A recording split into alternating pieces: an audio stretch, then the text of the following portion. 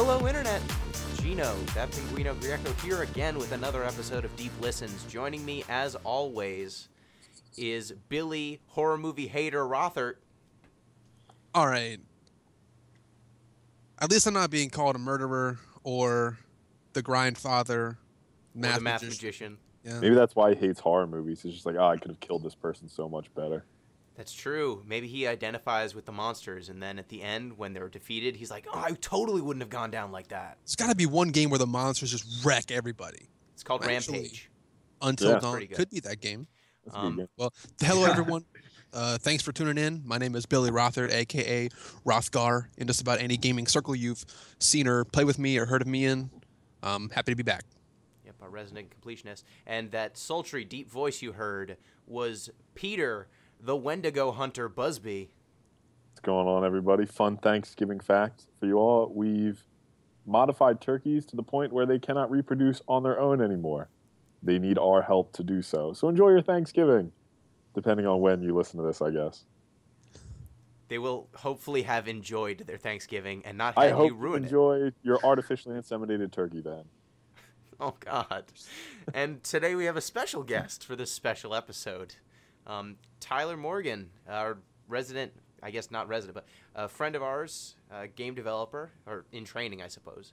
But welcome. You Yeah, glad to this be on here, Gino. Yeah, so um, this week we're going to be discussing Until Dawn. Um, we did not have any. A long ass podcast, Gina. Haha. Alright, jokes. Oh, God. Well, I guess we have to start Yeah. this podcast over now. I have to delete this file so that no one ever hears it.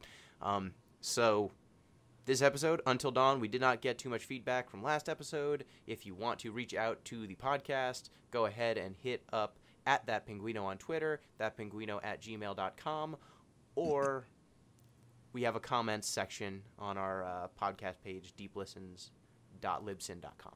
So, Basically, with- just talk to us. yeah, I mean, you don't like. It's just polite if you're in a room with someone to like engage them in conversation every once in a while. Whatever.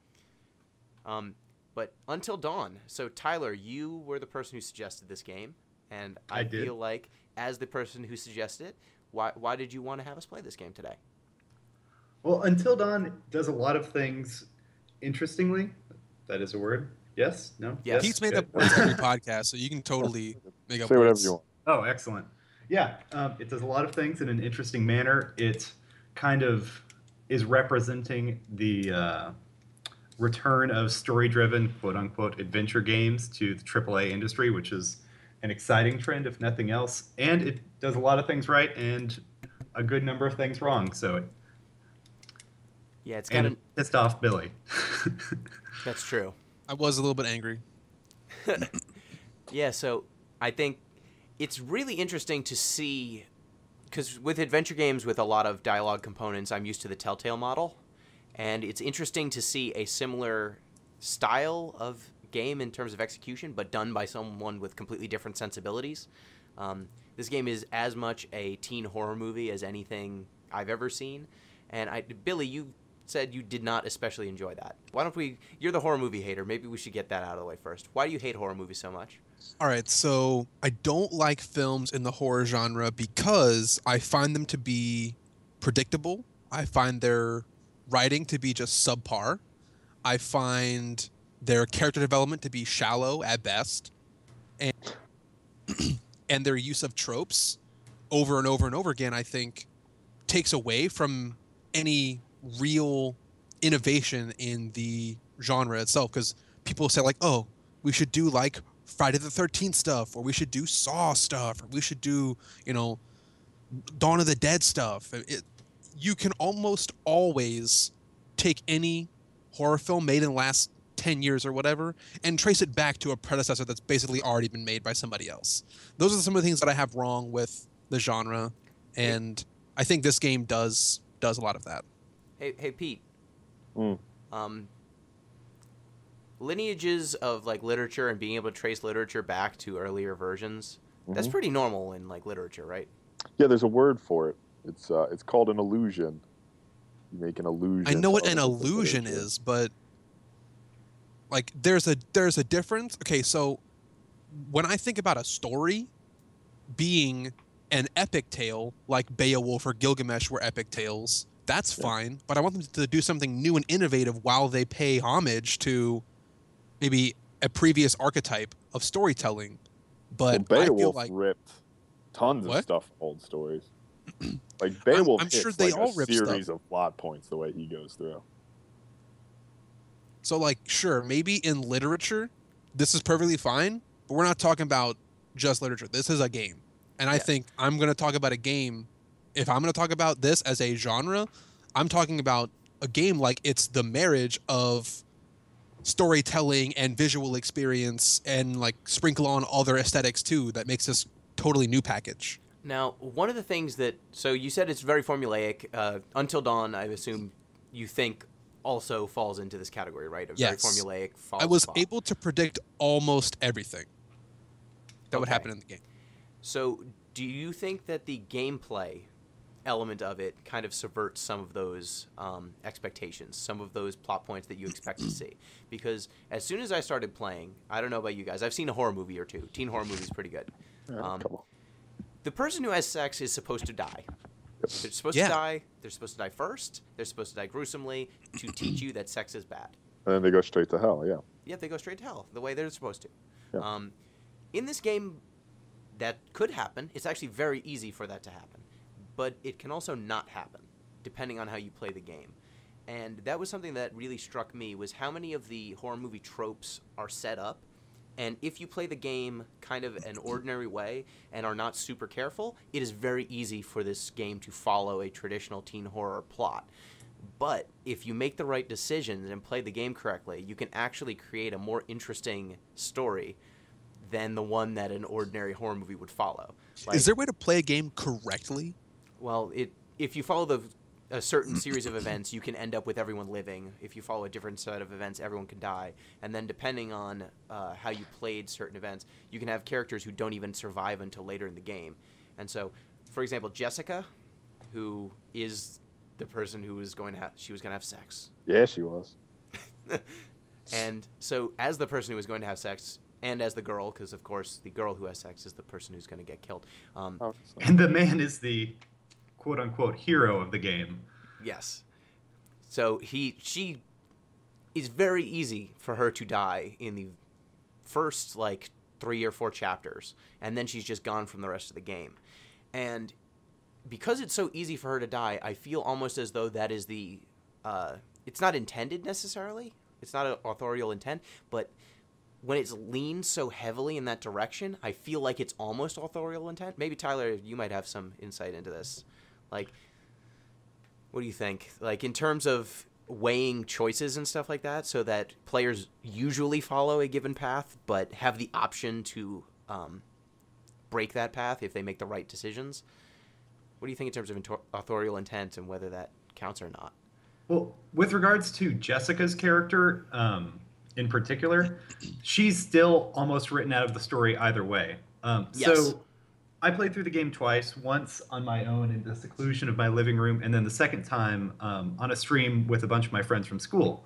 And so uh, in that stream, I divvied up the characters to different people, right? And I, I gave a couple people two characters because characters like Jess are nearly written out of the plot after a certain point. That um, the friend I had play her character was a little bit sour about it because um, after about two chapters of playing her, most of which is throwing a couple snowballs, the um, there's the character really doesn't actually have any more chapters, so she's almost gone either way.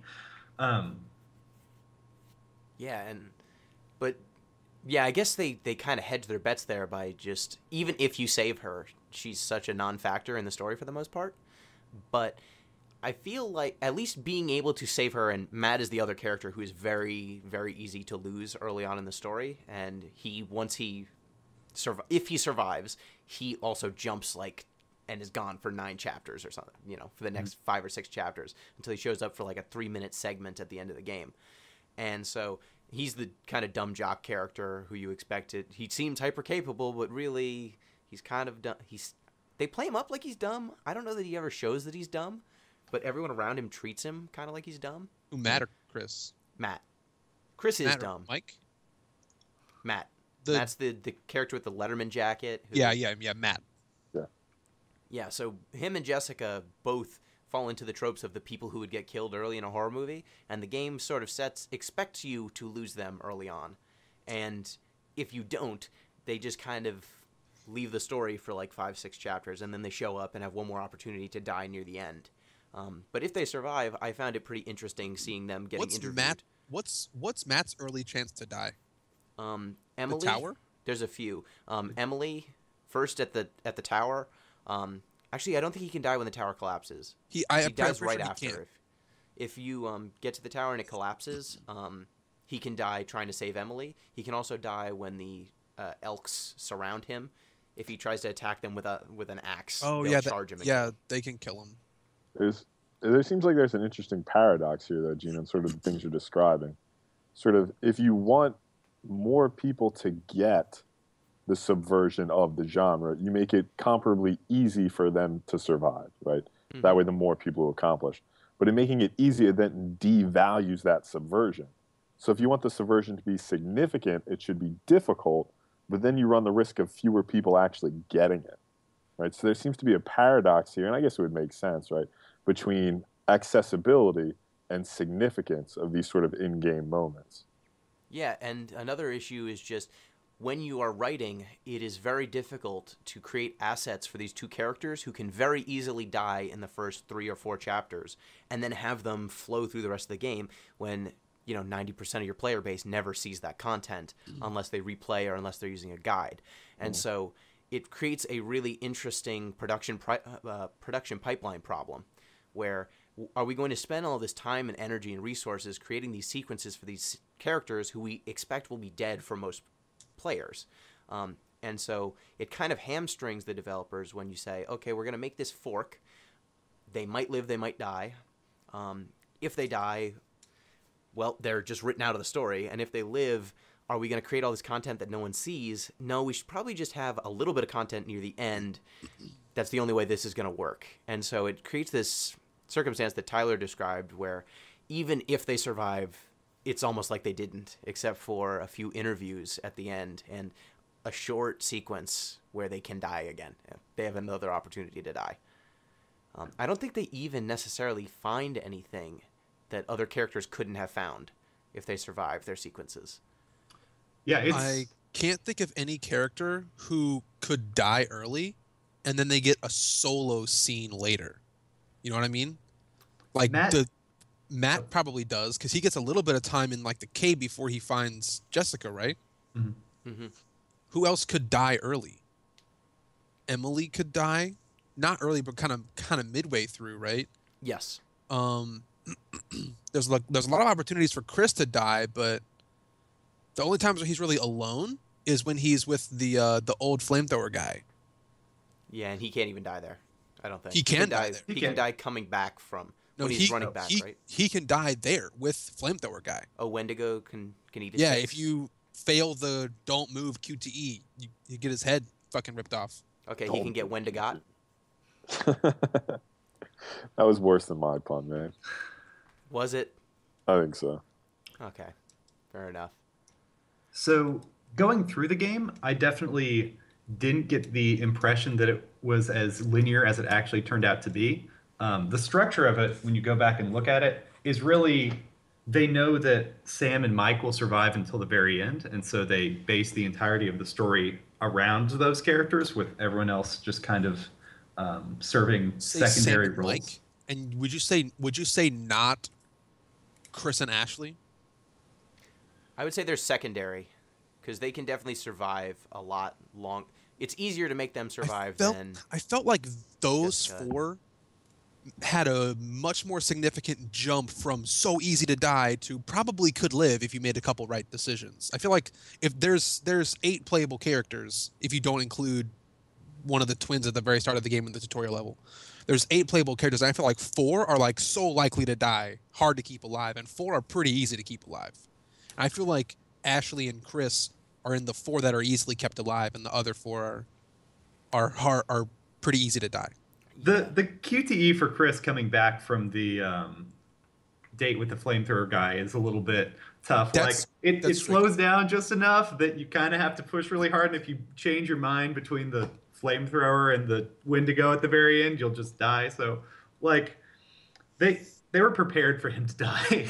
Yeah. I was prepared for him to die, but he he didn't for me. I, and they definitely give Ashley a few opportunities eh, to to die off of if you're not really thinking. Like, hey, I hear a voice. Go investigate voice or don't investigate voice. And my horror movie senses. There were plenty of times where my horror movie senses just tingled. I'm like, should I investigate the voice? Should I leave this person behind? No, no. when you say your horror movie senses tingled, for me that was like I can predict what's happening and I really don't have to make a hard decision now. And it took a little bit away for me from the game.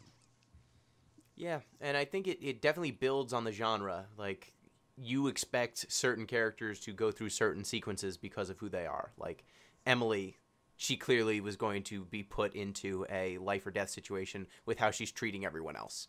Like, eventually, there's going to be a people turn on her sequence because she's she very easily can slap people like all day in this I- story. I feel Yeah. like the criticism you're making, Billy, maybe I'm reading this from more of a film perspective as opposed to a gaming perspective. If I'm I talking about it- a film perspective. All right, well then let me give you an analogy, right? Sure. All the criticisms you made of horror films could pretty much be applied to pornography as well, right? You're right. but nobody makes these criticisms of pornography really because they're beside the point. That's not what you watch pornography for. I'd say in horror movies, it's sort of the same way, right? Like these are legitimate criticisms, but they're sort of beside the point. Isn't it ironic then that we call films like Hostel or Saw torture porn? Pornography, torture porn. Yeah, I was gonna say pornography, but either one works. Gornography, torture porn, whatever you That's want to I'm call saying. it. Yeah, a lot of the criticism you're making, I think, are beside the point for this genre. All right, so then again, yeah, you you you do make a solid like counter argument. Thank you. Um, if I had to push back a little bit harder, I would say, like, why why are we here to like why watch films, right? Why watch films? Are we gonna have to separate horror films from a story that we actually care about the parts of the story and the plot progression for almost every other genre? But for this, oh no, we only care about the jump scares. So we're not gonna call it films anymore. We're gonna call it motion jump scare pictures. Like that doesn't make any sense, right? So it That's my new indie s- movie. Motion Motion jump jump scare scares. pictures. Motion jump scare pictures. Like Fair Well, enough. some some genres are comfort food, and it's not even genre. Sometimes there are low quality horror movies that are they're called B movies because they follow Right. A scheduled script. They have a relatively low budget. We know what the return is going to be because it has an established brand. It's in a genre that's very formulaic, and so people are kind of going in expecting it to follow the formula, and they're not necessarily looking for subversion. Um, it's really the high end horror movies like uh, the Babadook and some of those type things. That movie's pretty good. Yeah. Um, I couldn't get through it. Really? It was too scary, or No, the kid. The kid just annoyed me too much. Oh, yeah, the which was kid the does- point. But he is a he is annoying. But um, there's a few horror movies that really subvert. But every year there will be nine to ten. Crump Krampus is coming out, and we know what that movie's gonna be. We know what that movie's gonna be. But you know, sometimes you're just in for Krampus. Sometimes you're in for Crimson there's Peak. the goddamn Yeah. Chucky That's- movies. Yeah. I, Chucky one was actually not bad. Then every subsequent movie was just making fun of itself over and over again. Yep, and it's it's sometimes it gets masturbatory, and sometimes we're back we're back again. we're really carrying this metaphor pretty far. but sometimes the formula is part of it. And do you guys think it was successful as kind of a Until Dawn was successful as kind of a horror movie? Like, did it scare you at any point? I don't want to be the one who keeps talking, but I was only scared for jump scares. And I think that's the cheapest version of jump scare. Because this game, which said when they were releasing the game, like pre release, I said, hey, look, this is going to be the kind of game you have to play through multiple times to get it right. We're going to have this butterfly effect undertone. I mean, I don't know. Not Overtone. even undertone, overtone, right? Butterfly effect overtone throughout the game and say, hey, look, we're going to give you the option to replay critical chapters after you play your first playthrough. This is this is going to encourage replayability. And for me, all of the stuff that actually scared me never scared me again for the replay. It made the replay not that good. Let's throw it back to other game examples like a Resident Evil game or a Silent Hill game First Or- Bioshock game. or yeah, the first Bioshock. that stuff me. is still scary because of the atmosphere, the tension. Like it's still it's still scary because of the fear you have of the not fear, but the tension that's created by music and lighting and surroundings and everything. And this game lacked in that for me. Yeah, there's not a snowy forest trail can only be so scary. and- Cabin with the lights turned off can only be so scary. It, it it's it doesn't do it for me. and there's also the fact that there's no unknown in Until Dawn. True. There was definitely Well, a tension for me. There was an unknown for the first half of the game until it gets revealed in the second half of the game. There's fucking Wendigo running. I mean, around. in replays, like you're right. in Silent Hill games, there is still a sense of unknown if you don't memorize all the enemy locations. Like, there's always something lurking out there in the fog that you might not be aware of. In a Bioshock game, you might not know where every single splicer is, and there are splicers that are walking around on an AI routine that might be in a different place than you expect. With Until Dawn, there are beats. Those beats will always happen the way that they happened the first time. And unless you go into a divergent path with a really different sequence, like if you didn't save Jessica and then you save Jessica and then see her later, what happens to her later on, um, there are just going to be sequences that you know up and down. And so they aren't as scary anymore. Like So I the dollhouse throw- scared me the first time, not the second. I want to throw a question kind of Tyler's way um here because he's probably the closest to a like a real like a real he's he's he's probably gonna have the closest insight to real game making right now. um, so the first maybe like three or four chapters of the game, certain characters have to live. There are ways that characters like you can make the worst decisions possible and they still live. Mhm. All you lose is maybe like a little bit of relationship status, or maybe somebody makes a makes a mean comment to you later because you dropped their luggage in the snow or something. I don't I don't know, fucking trivial things, right? You can make the worst decisions in the game for like the first four chapters and everyone lives still. And the reason that happens is because they have to get the characters to certain plot points or else they can't tell a story. Mhm. Now, this is either a good decision or a real, I guess, like cheapening of a would be cool mechanic. If they're trying to say to you, decisions really matter in this game, pay close attention. Like that's what the opening sequence said. Your decisions matter. Some of these decisions are going to be irrevocable. You cannot go back on these decisions until you beat until you beat the game.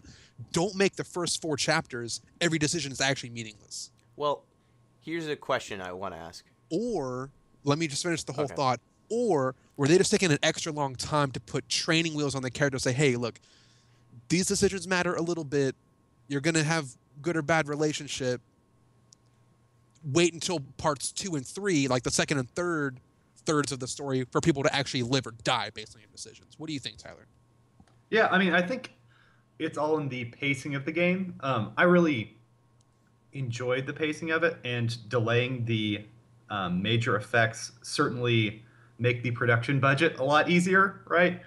I can see a producer freaking out when you tell them that characters can die in the first 30 minutes, and that has branching effects and affects every dialogue tree throughout. Um, yeah, so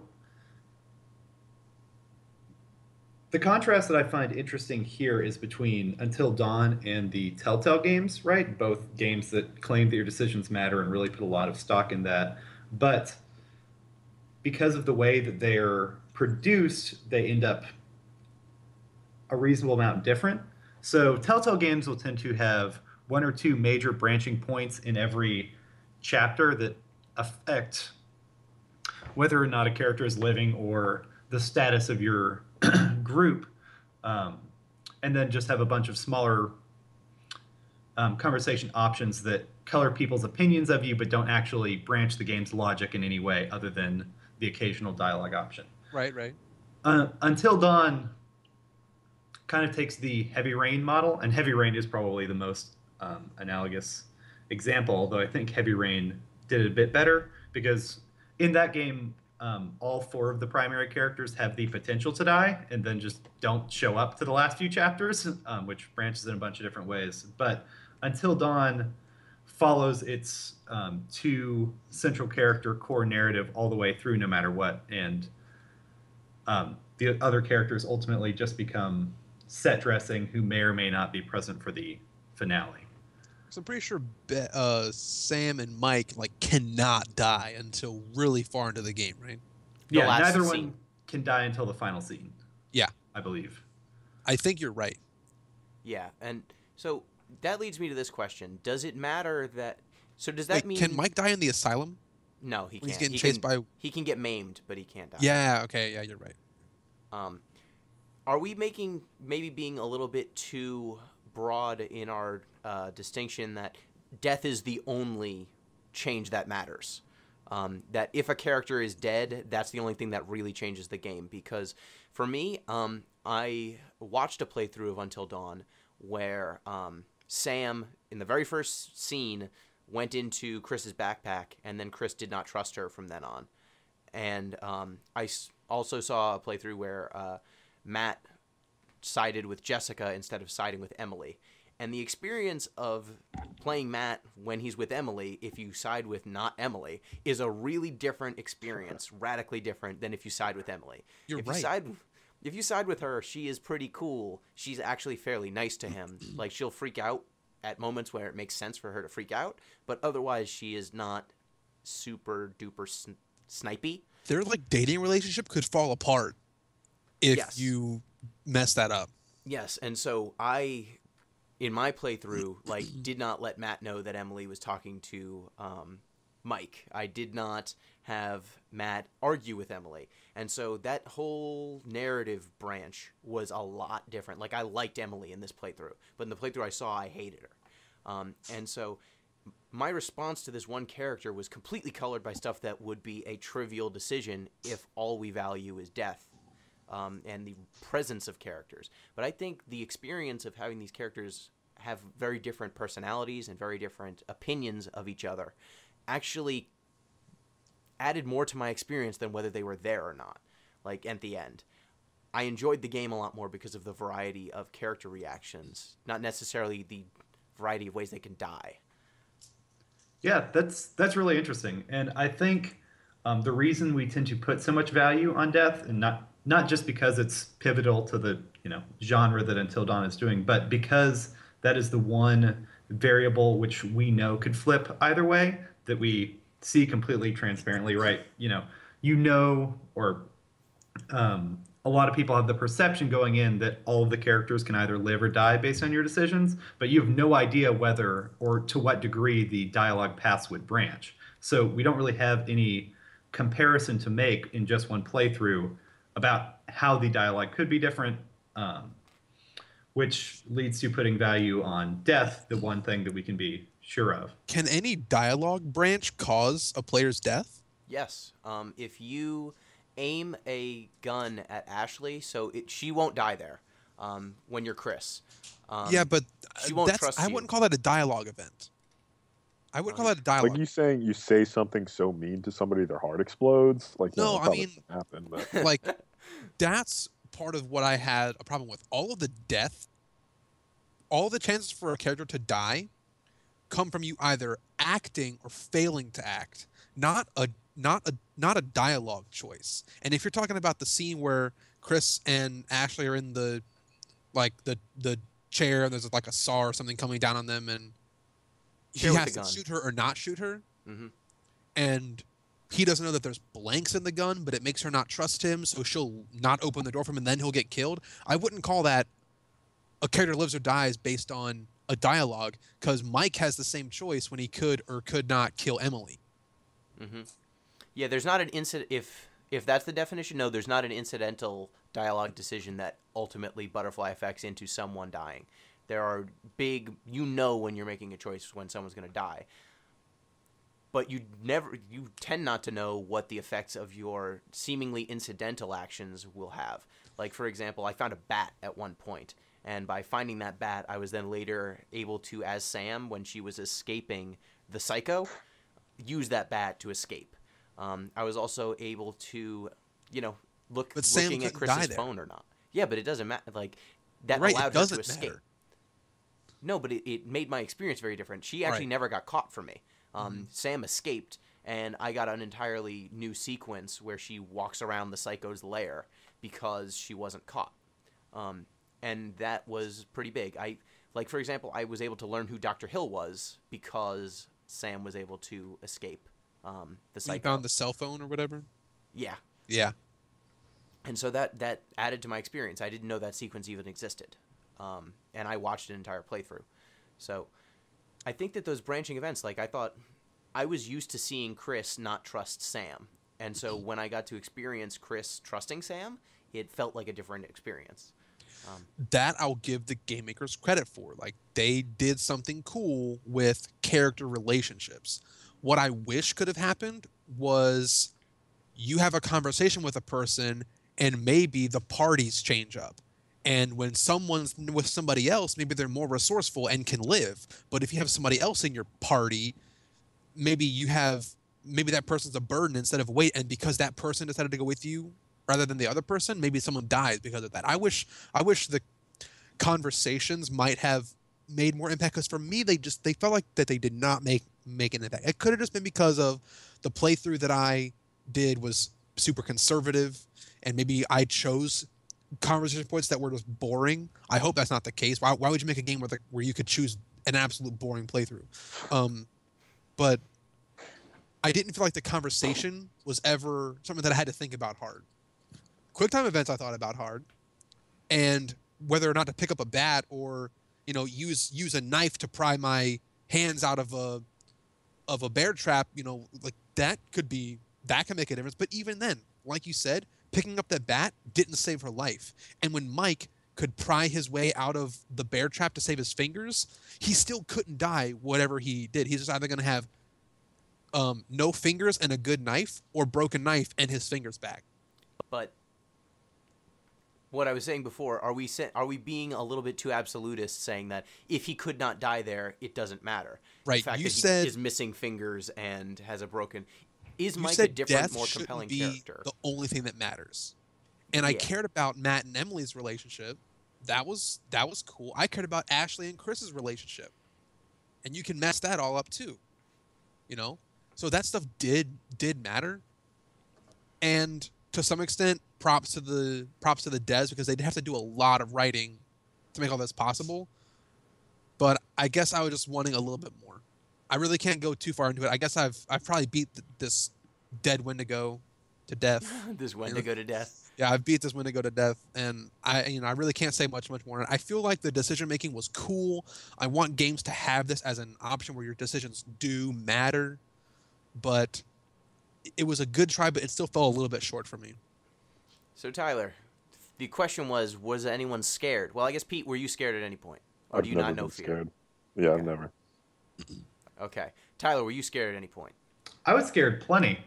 Um, I was pretty attached to most of the characters, and so the fact that um, I was aware that I could lose any of the characters because of a couple bad button prompts um, lent me um, quite a bit of fear. So, um, an interesting contrast I had. I, I don't normally interact with the horror genre whatsoever, right? I don't watch horror movies. I don't play horror games. I got through about seven minutes of amnesia before the sheer ambiance alone like drove me out of it. but um, I found myself playing Until Dawn and Soma at about the same time. Now, granted, Soma is a much much less scary game than Until Dawn, but um, I found it didn't bother me that much. I certainly had a great deal of apprehension, but I wasn't that scared. Whereas Until Dawn scared me a lot, and I think that's because of the kind of player that I am. I was, um, in Bartle type terms. Have you all heard about the Bartle types before? No, why don't you explain? All right, so there's four Bartle types: um, Explorer, Killer. Oh, why don't you explain who, what the Bartle type, like, what is? Yeah, who's Bartle? Do you know where that comes from? Oh, right. So he was a um, psychology researcher who was attempting to determine um, what exactly causes players to enjoy games. I'm sorry, no, I believe he's a game designer actually, but um, they were surveying people about what they wanted out of a gaming experience, and they found that. Um, when they got all their surveys back, when they talked to people, people wanted just completely different things out of games, right? They were looking for completely different experiences. And so eventually he managed to classify them into four groups, right? The four groups being Explorer, who generally like to understand game systems and accumulate knowledge um, about the games. Achievers who enjoy having tangible um, representations Re- like rewards and stuff. Yeah. Yeah. Um, killers who enjoy spiting other players, and socializers who play games for the social aspect, um, be it communication within games or um, sometimes even communication with characters themselves, like as in the case of Until Dawn or Telltale Games. So um, people have done a lot with this um, in gaming literature, and so there's a few more subclassifications. And so the subclassification of the Bartle types that I um, identify most strongly with is Guardian, which is a mix of explorer and socializer that puts a great deal of value in um, accumulating resources and defending other characters. Right? It um, you can liken that into Myers Briggs pretty easily. That it's a defender archetype that um, I tend to work with. So I, I guess I'd be a completionist if I'm the explorer achievement person. yeah Yes, you're I that. visit you're 100% that of the person. map, That's it, collect yeah. 100% of collectibles. That's what that is.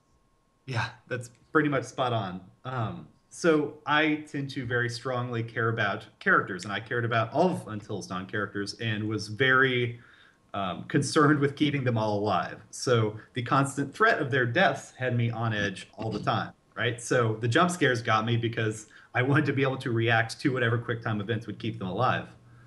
Um, whereas Soma is different, right? All almost all the horror is either um, from the concepts themselves, right, from the actual narrative, um, but it's kind of a like psychological horror where it's more um, concerned with giving you disturbing ideas, whereas the actual horror mechanics of the game are entirely systemic, right? It's entirely or almost entirely avoiding big scary monsters.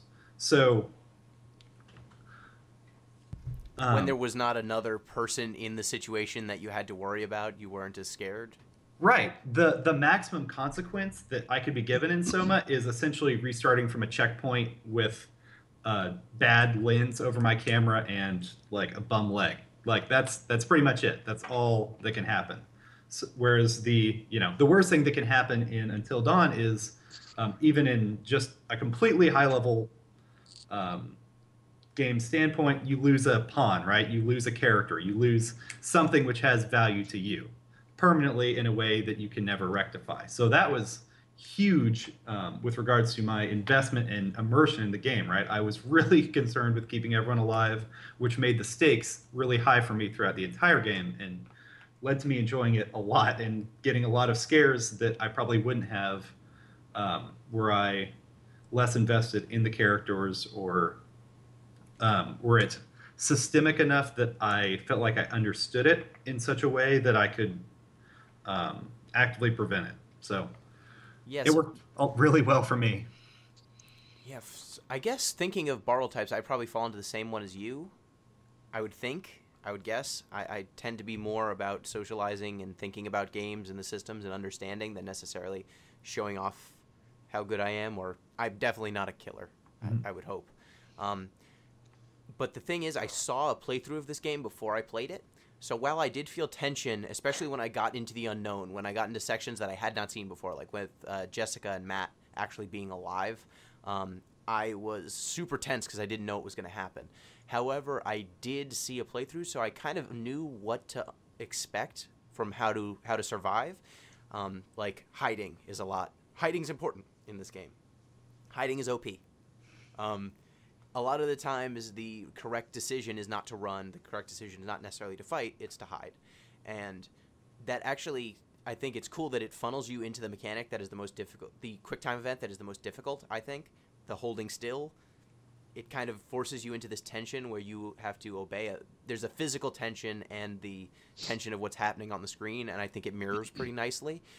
But once you know that hiding is nine times out of ten the right way to go, um, that kind of reduces the fear that someone's going to die unexpectedly, and it kind of puts the onus onto executing instead of onto um, understanding the situation.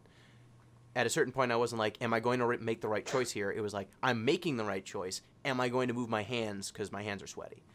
Or um, there was a point where it was the last sequence, and there are so many wait, you know, wait, don't move, wait, don't moves in the last sequence, and outside, I was playing over a friend's house, and outside of the room, like there was an open, like a glass door, and someone was walking around with a flashlight in the middle of the night, and it was as the last sequence was happening, and I'm like, is that the game or is that actually a human being outside? I can't look because I need to hold this in the zone, or else everyone's dead.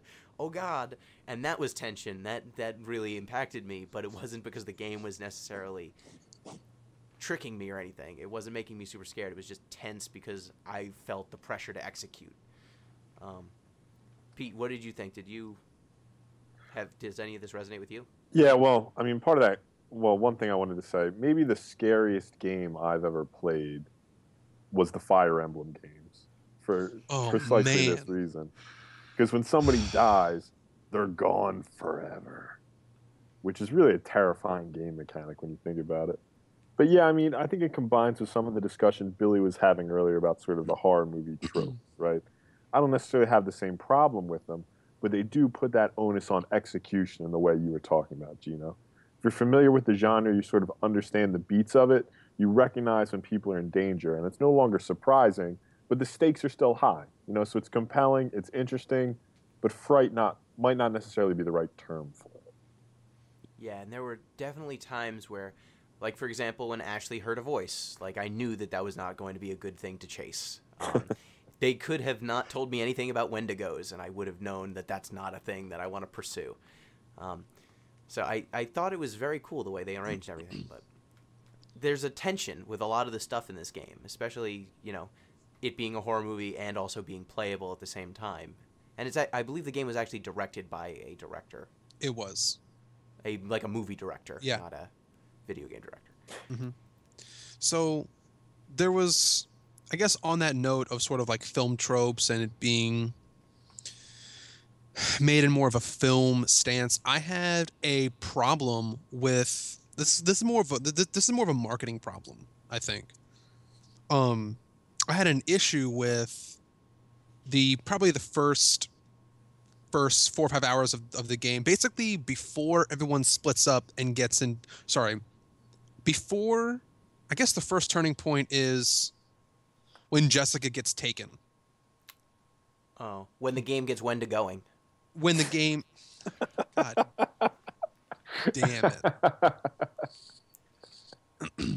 um I have a problem with who they're marketing this game to. The second half of the game, this problem doesn't really exist because you've got a scary monster, you've got characters that are that, that care about more than their winter vacation. But for the first like five or six hours of this game, what I get is character interactions that are soap opera at best and lines of dialogue like boom butterfly effect or my tongue will get stuck to your flagpole you know like horrible lines like terrible right and okay teen, Teen movie appropriate lines. Teen movie That's a right great but now line, by the way. Flagpole, that was spot on. i i Going to the bone zone. yeah Come on. going right so like daily. I use that phrase daily. going to the bone zone And it completely, I was like, oh, I'm going to go eat that chicken over there. It was a boneless? No, I'm going to the bone zone. keeping it PG there. Um, so what? Here's what I'm getting at. You have a game that's gonna have violence and excessive gore. Like there's some serious gory moments in this game.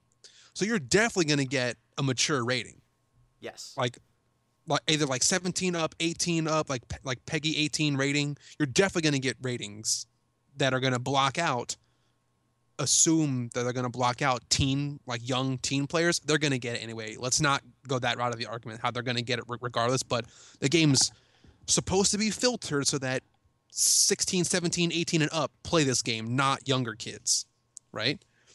But the humor and the writing that they have for the first you know big chunk of the game if it was just like the first 10 minutes fine but it's like the first three four hours of this game are childish humor and kind of bad writing so I this wouldn't say narrows. it's bad writing. I'd say they're writing teenagers like they're teenagers. Like they sound, or I guess they're supposed to be teenagers, right? Like college, Yeah. almost college age. Like Yeah, let's say senior trip. They're 18. Right, but Yeah. Gino, we talk about how the gamer is getting older now. Like Mm-hmm. the demographics that we have addressed and talked about in previous podcasts are like, hey, look, there's demographics. Um, like 18 and under gamers are less than 18 and older gamers. There's more 18 and older gamers. I just think so. So what I I'm think- saying is, who are you marketing to? You're making, you have like Mm-hmm. an an a, an adult game, but childish jokes. So there's like a very narrow margin of like 18 to 20 year old people that are gonna actually find this entertaining. Um, my so first thing is just on teen horror. Um, a lot of teen horror, especially like 80s, 90s stuff, even though it's rated R, it is very clearly marketed at actually teenagers who are getting into rated R movies. Like, um, there's, I don't know about you guys. I I went to a rated R movie when I was less than 18. Yeah, What? Gino. Yeah. And a lot of the times, some of the scares, quote unquote scares that they're going for, or like the titillation, like the fact that there's going to be, there was like 90, very close to a sex scene in this game. Um, I think a lot of that hinges on the sort of maybe there's a boob and then there's going to be some violence and then there's going to be a few comedy moments. Maybe that, a boob. maybe Is that a boob? Yeah, yes, yes. Confusion over whether can or not. confirm It was a might boob. be a boob. but I my understanding at least of the genre is that even though it's rated R, their target audience is usually people, you know, 16, 15 to 20 something. And so I think that thinking that your audience or at least people would be familiar with the tropes of this genre in specific um, and playing into those is not necessarily like it definitely doesn't subvert a lot of expectations other than what you as the player might do in your play style. Uh, the the script does not go out of its way to like you know Emily's not going to be like this super deep character that completely changes what you think about the stuck up girl in a teen horror movie. She's just an in, she's entertaining. Um, it's not like Matt turns the jock on its head, like he's the jock you're never going to see coming. Or Mike. Mike is the the witty. Uh, I guess he's kind of he's not tough, like the witty, lovable loser who's going to end up being the hero. No, Chris. Like- that's Chris. Yeah, Mike's can't- like the captain of the football team and like the class Like the president. ladies' man. Yeah, Yeah, but his jokes are so terrible. You're yeah I don't know how it happened, but You're the right. game expects us to believe it did. So Maybe let me throw yeah. something out there. We take games. Okay, so you are trying to push back and say, look, this game doesn't have any delusions about what it is. It's a teen horror movie that you play with the PS4 controller. You know, so let it be that. And I say, okay, look, you're you're trying to make a okay, I'm saying you're trying to make a suspense horror game, a suspense horror experience, and they're trying I mean, I feel like these guys were trying to be taken seriously. I feel like Until Dawn Until Dawn was in some ways making fun of the horror genre, and they do that stuff well. But in other ways, they were trying to be taken seriously. Games like Amnesia can be played by any age group, whether you're a 40 year old or an Don't 18 let year your old. don't let your kid play Amnesia. Right. Can't Don't let your kid play. Amnesia. But that that that retains its scary for its same reasons, regardless of age group. Another game, probably not known so well, Slender, was a super basic game that was scary as shit, regardless of what age you are and what, I guess, like tier of Yeah, like and film film or game player you are. Same with something like a Silent Hill game. It stays it, it stays scary for its reasons. And I think Until Dawn could have done stuff like that, but for some reason it chose not to. Why? yeah, Tyler. Yeah, so I think the the two styles of horror that you're looking at are very different, right? Until Dawn's horror is entirely narrative based, right? It's all pre-scripted, all fully rendered. Um, whereas um, Slender, Bioshock, um, Silent Hill are all you know systemic horror games, right? That they have the random components that we talked about earlier. That um, it's coming at it from a different angle, right? That Until Dawn is supposed to be a polished experience that you experience exactly one way. It's telling a linear narrative, and those games are supposed, the other games are supposed to um, have closer to replayable horror because of the stochastic components of their design. Um, but I think What you have to explain what stochastic means. It's random. I'm that. sorry. Yeah. um, but I think I think the way that um, the game makes most sense is I've I've kind of tried to go back and think about how they um, designed the game, and I bet the angle that they were coming from was that they wanted to make a um, you know very cinematographic video game, right? A story driven game that resembles cinema, and then they were trying to find the appropriate genre to slot that experience into. I didn't I didn't get the feeling that um, the inception for this idea was that they wanted to tell a teen horror story, and this was the set of mechanics that would make it work best. I got that they wanted to make a story driven um, movie experience as a game, and then the tropes of the teen horror genre just perfectly fit exactly what they could do. I can see Yeah. that a little bit. Yeah. And I think that the goals of a Silent Hill and the goals of something like a Slender are pretty different from the, Until Dawn. Um, like Tyler said, moving through the game kind of in a very cinema, cinematographic, I guess you said, definitely aping um, movie techniques, but also it, it's kind of almost thrill ride, and there's a lot of comfort food in Until Dawn, kind of seeing the familiar tropes and saying, haha, that's the trope. I understand that. I kind of understand where I am in this game and in this world, and I'm just going through this experience that I kind of know what's going to happen, but maybe there'll be some cool things in it. Whereas the Silent Hill games, like they're there to kind of mess you up. Like those games are really going to unsettle you. They are trying to unnerve you at every turn. Whereas Until Dawn is not actually committing to that, even though it, it has some uh, trappings that make you think it might. I think in Dr. Hill and some of the psychological elements that they start bringing in after the first chapter, um, it makes you think that maybe it's going to go in that direction, especially because um, there was a Silent Hill game, I believe it's Silent Hill Shattered Memories, that used the exact same conceit of talking to a psychologist and giving them ex- uh, giving them your experiences and then having that shape the game. And so when you have one game that's actually trying to be horrifying, like Silent Hill, that's trying to unsettle you, that's trying to make you think about what is reality, what isn't, um, what has this character that you're controlling done, what does it mean to other people around you, versus this game, which is woo scary monsters, woo crazy psycho, woo haunted house, but really, other than a few jump scares, isn't trying to make you uncomfortable in your own home. Like, Silent Hill and Slender Man can make you uncomfortable in your own home if you play it the right way and really get into it. yeah. Um, and so I think that those are two very different styles of horror. Um, one is definitely, you know, the Saw movies are not there to unsettle you psychologically. They're there to mostly make you go, ew, gross, or ew, needles in a toilet. But like something like The Babadook can make you not want to go to sleep, um, or be very scared of like hanging suits, bowler hats. Okay. And it, it's also worth pointing out that it doesn't actually bill itself as a horror game, right? It's it's trying to fly under the radar as a quote unquote adventure title. That they, I think they know what the effect that they're going to have is, right? They're very conscious of that, and they're just playing it up, you know, having fun playing with their tropes, as opposed to trying to create that genuinely unsettling environment.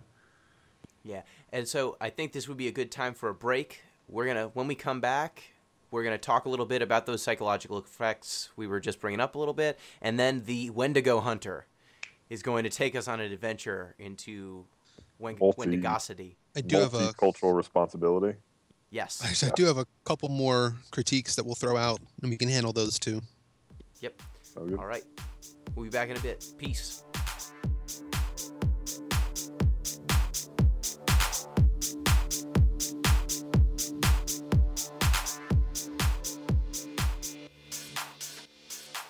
And we're back.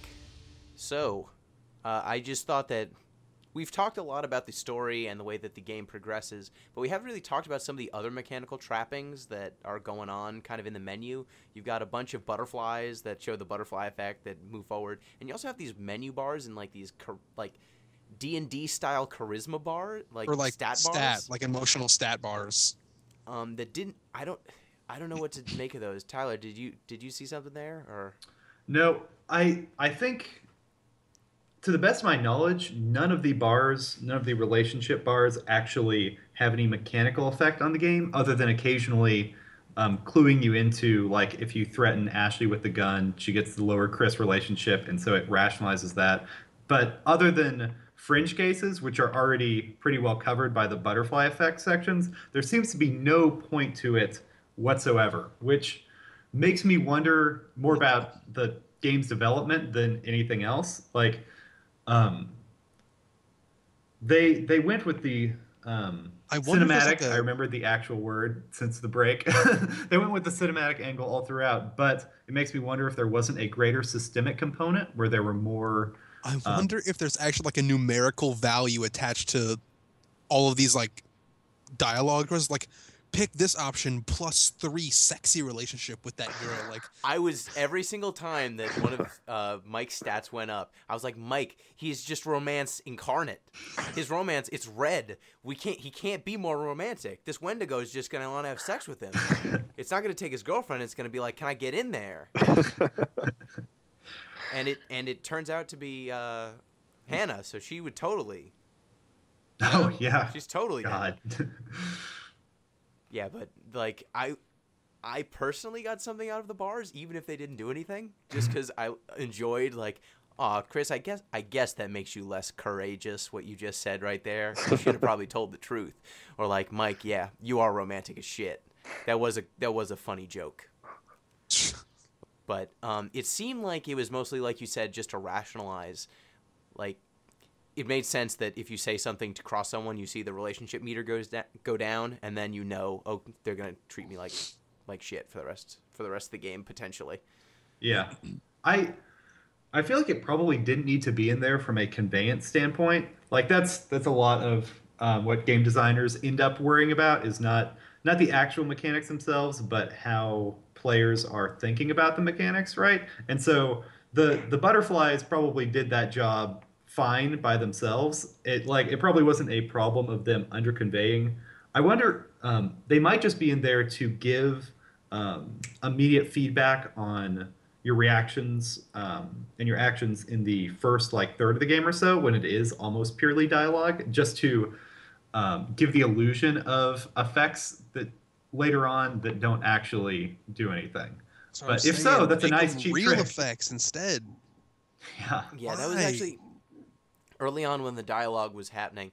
I actually probably stopped caring about the bars halfway through the game once stuff started popping off because I realized that okay, oh crap, people might actually die now. Yeah. I really don't care if Emily's pissed at me anymore or if you know Mike is romantic as hell because he's got to kill some things or not get killed by some things. And I don't think that his relationship status, other than with this dog, is going to impact his survival anymore. Yeah, and this kind of leads perfectly into one of the remaining major critiques I have with this game, which is a dramatic shift in story about halfway through the game. It, uh, it's almost a completely different story we're telling in the first half than the second half.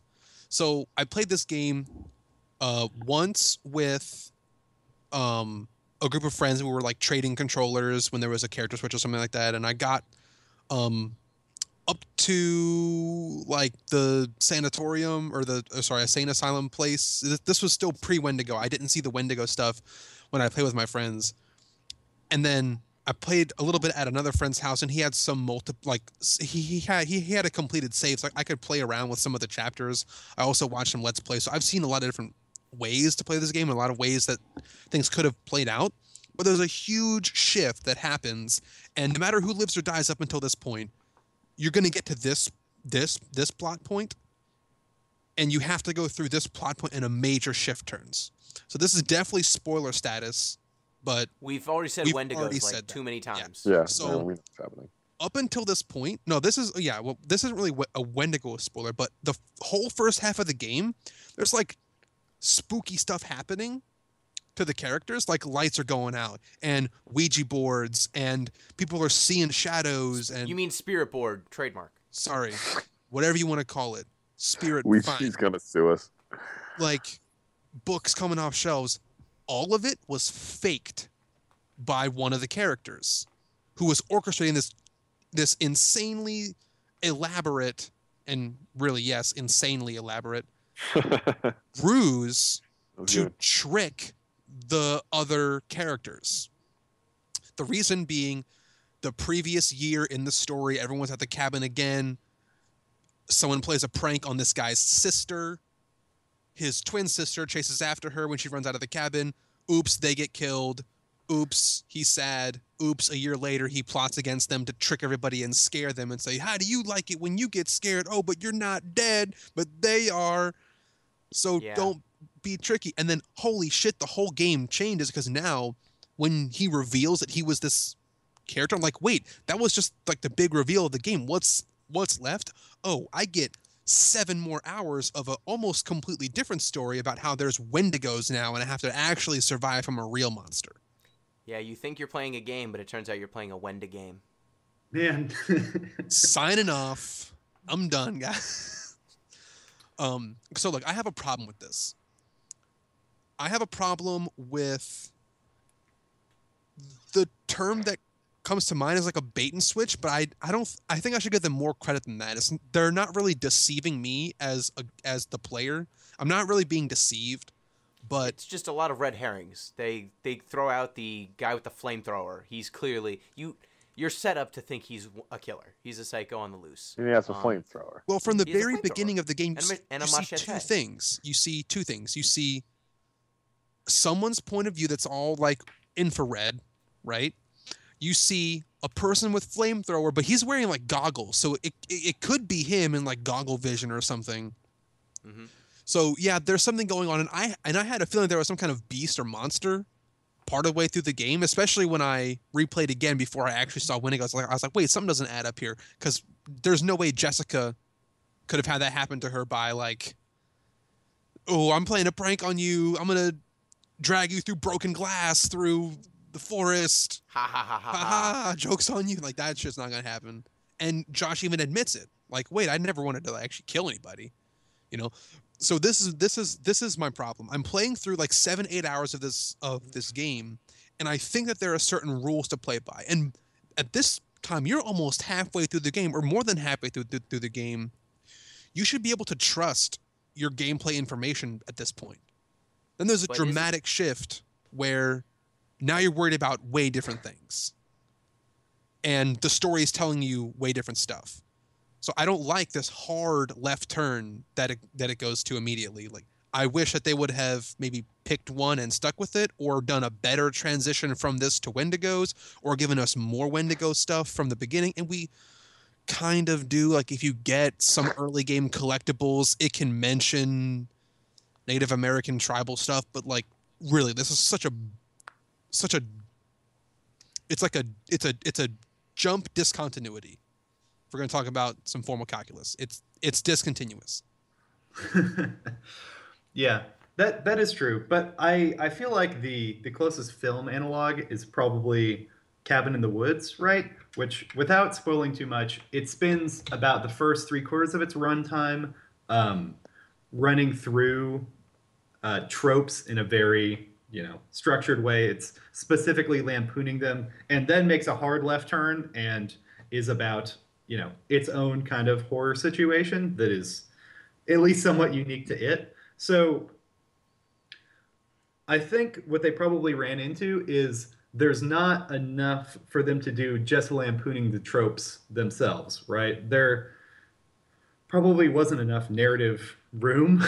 um, the to get the experience that they wanted you to have, they had to add an quote unquote actual horror piece to it near the end. And they do they do a good job of preparing you for it mechanically, right? They have plenty of those little don't move um, sections littered throughout the game. The the mechanics of the game stay consistent. It's just the tone that takes a really dramatic shift, which I don't know. It's it did make it feel like a very different game. It but I think I still enjoyed it in a similar manner. Yeah, I guess. So my big thing was up until that point in the game when the Wendigo stuff starts popping off. Um, you're kind of slowly assembling knowledge on what's happening. Um, you find stuff on the Native Americans. You find stuff on miners being trapped underground, and there's a mystique that's kind of getting brought up, especially Mike in the sanitarium. You find a lot of stuff about, oh, these miners came back and they were a lot more full than we thought they would be.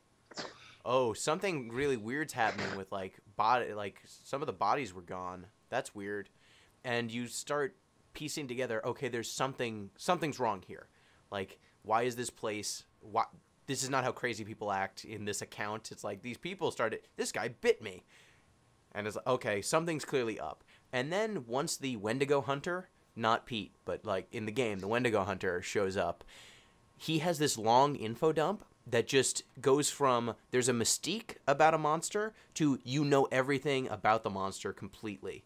Um, and it's like a maybe like a five, six, seven minute sequence where he's just telling you about Wendigo. Here's the situation on the mountain. Here's what's going on. Your friend's in danger. Everyone's all you guys are fucked. Go under the mountain. Go under. Go in the basement. Lock the doors.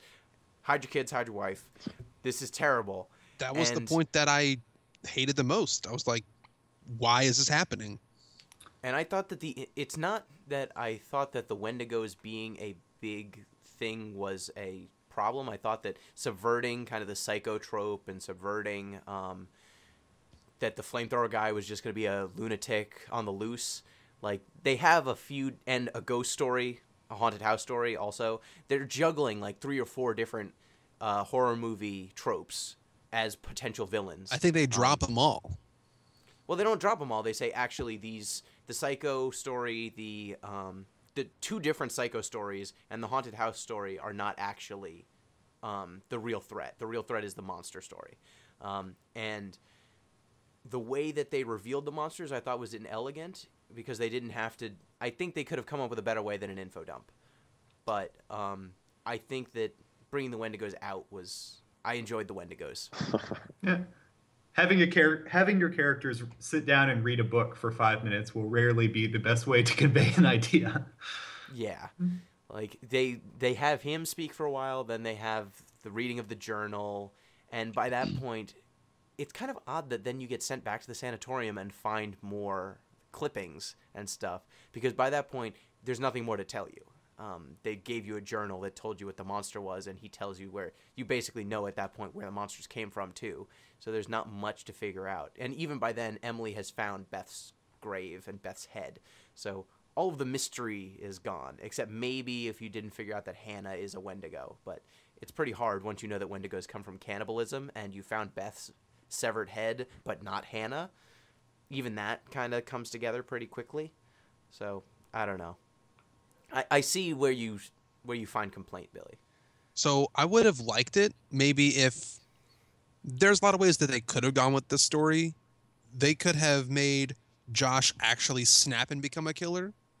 They could have made flamethrower guy from the beginning actually be you know, I I would have been cool with them having other tricks go on in the house. And then when the big big Josh reveal happens, I say, "Wait, some of that stuff I didn't do. Wait, where's Jessica?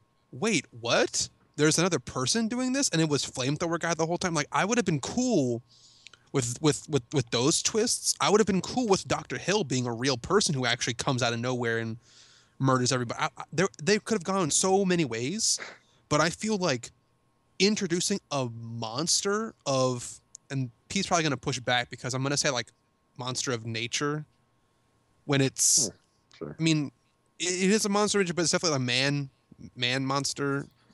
Okay, Pete, where you'll probably The agree with me monster. is this.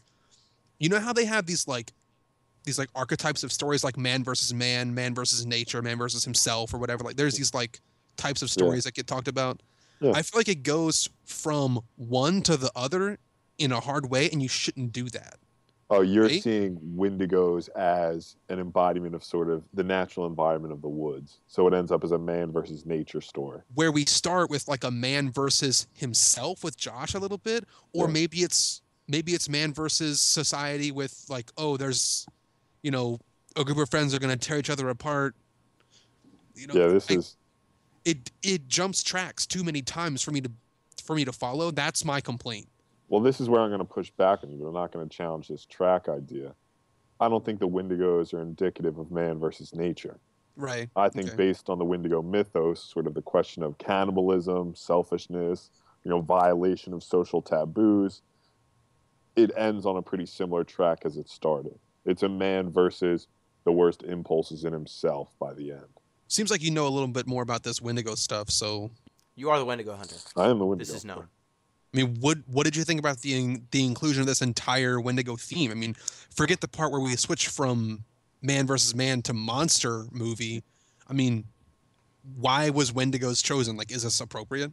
Well, let's talk about it, right? In terms of environment, it's very appropriate, right? Because if we look at sort of the tradition of Wendigo, it was perpetuated by, and you know, as much as I know, it was perpetuated by Native Americans living in a climate that led to, you know, periodic starvation, right?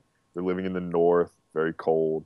So that would then lead to famines, which, you know, think Donner Party, could inevitably lead to cannibalism, right? So there are these, in terms of like what they do with it, it is appropriate. My problem with it is the Wendigo is connected to long history and especially currently of challenges to Western imperialism, to sort of Western dominance, colonialism, right? Like part of part of the hypothesis of what led to the idea of the Wendigo was trauma associated with colonialism. You know, these colonizers, these fur traders move in, they take over Native American territory. And especially now, it's used as a criticism of Western culture, right? Sort of the the problems of capitalism, the inherent selfishness, the malaise it creates, right? So my question is, you know, sort of setting aside these questions of environmental appropriateness, what about sort of this appropriation of culture, right?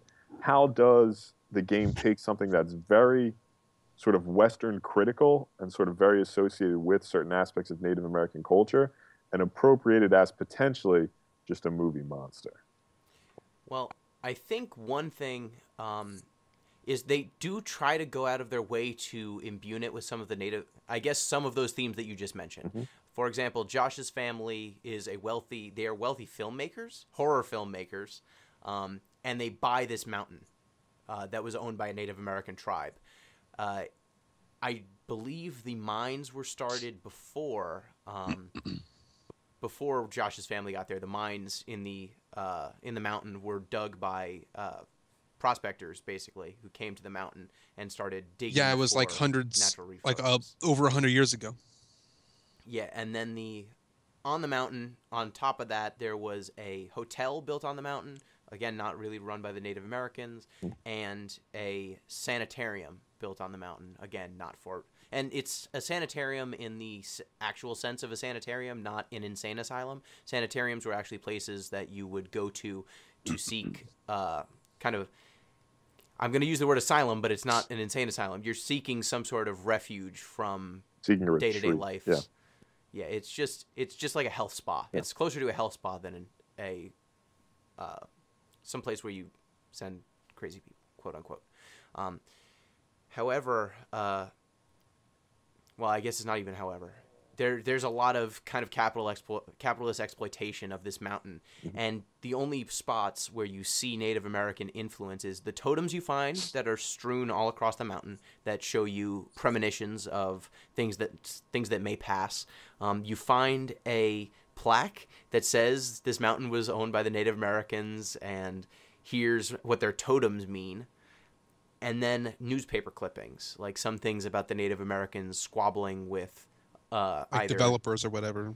yeah either the Washingtons, Josh's family, or um, people at the mines, and some of the curses, especially the Wendigo hunter that you find in the game, saying that this is a Native American curse put on this land uh, because people violated the land, um, and so they definitely dig into a little bit of this is a curse that is coming because of how this land and how this native tribe were abused and that brought about this wendigo curse but it's definitely not an agent of the native americans not necessarily it's not like it's avenging for them or, or striking out I, I guess it is because the people who took over are westerners Yeah, but But- even I don't know. I think it's actually better if it's not an agent of the Native Americans because it suggests that this sort of selfishness, this sort of transition to going Wendigo is endemic to Western capitalism.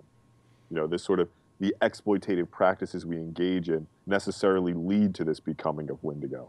It's not some sort of, you know, Native American, you know, perhaps even drifting into this noble savage type of communion with the land.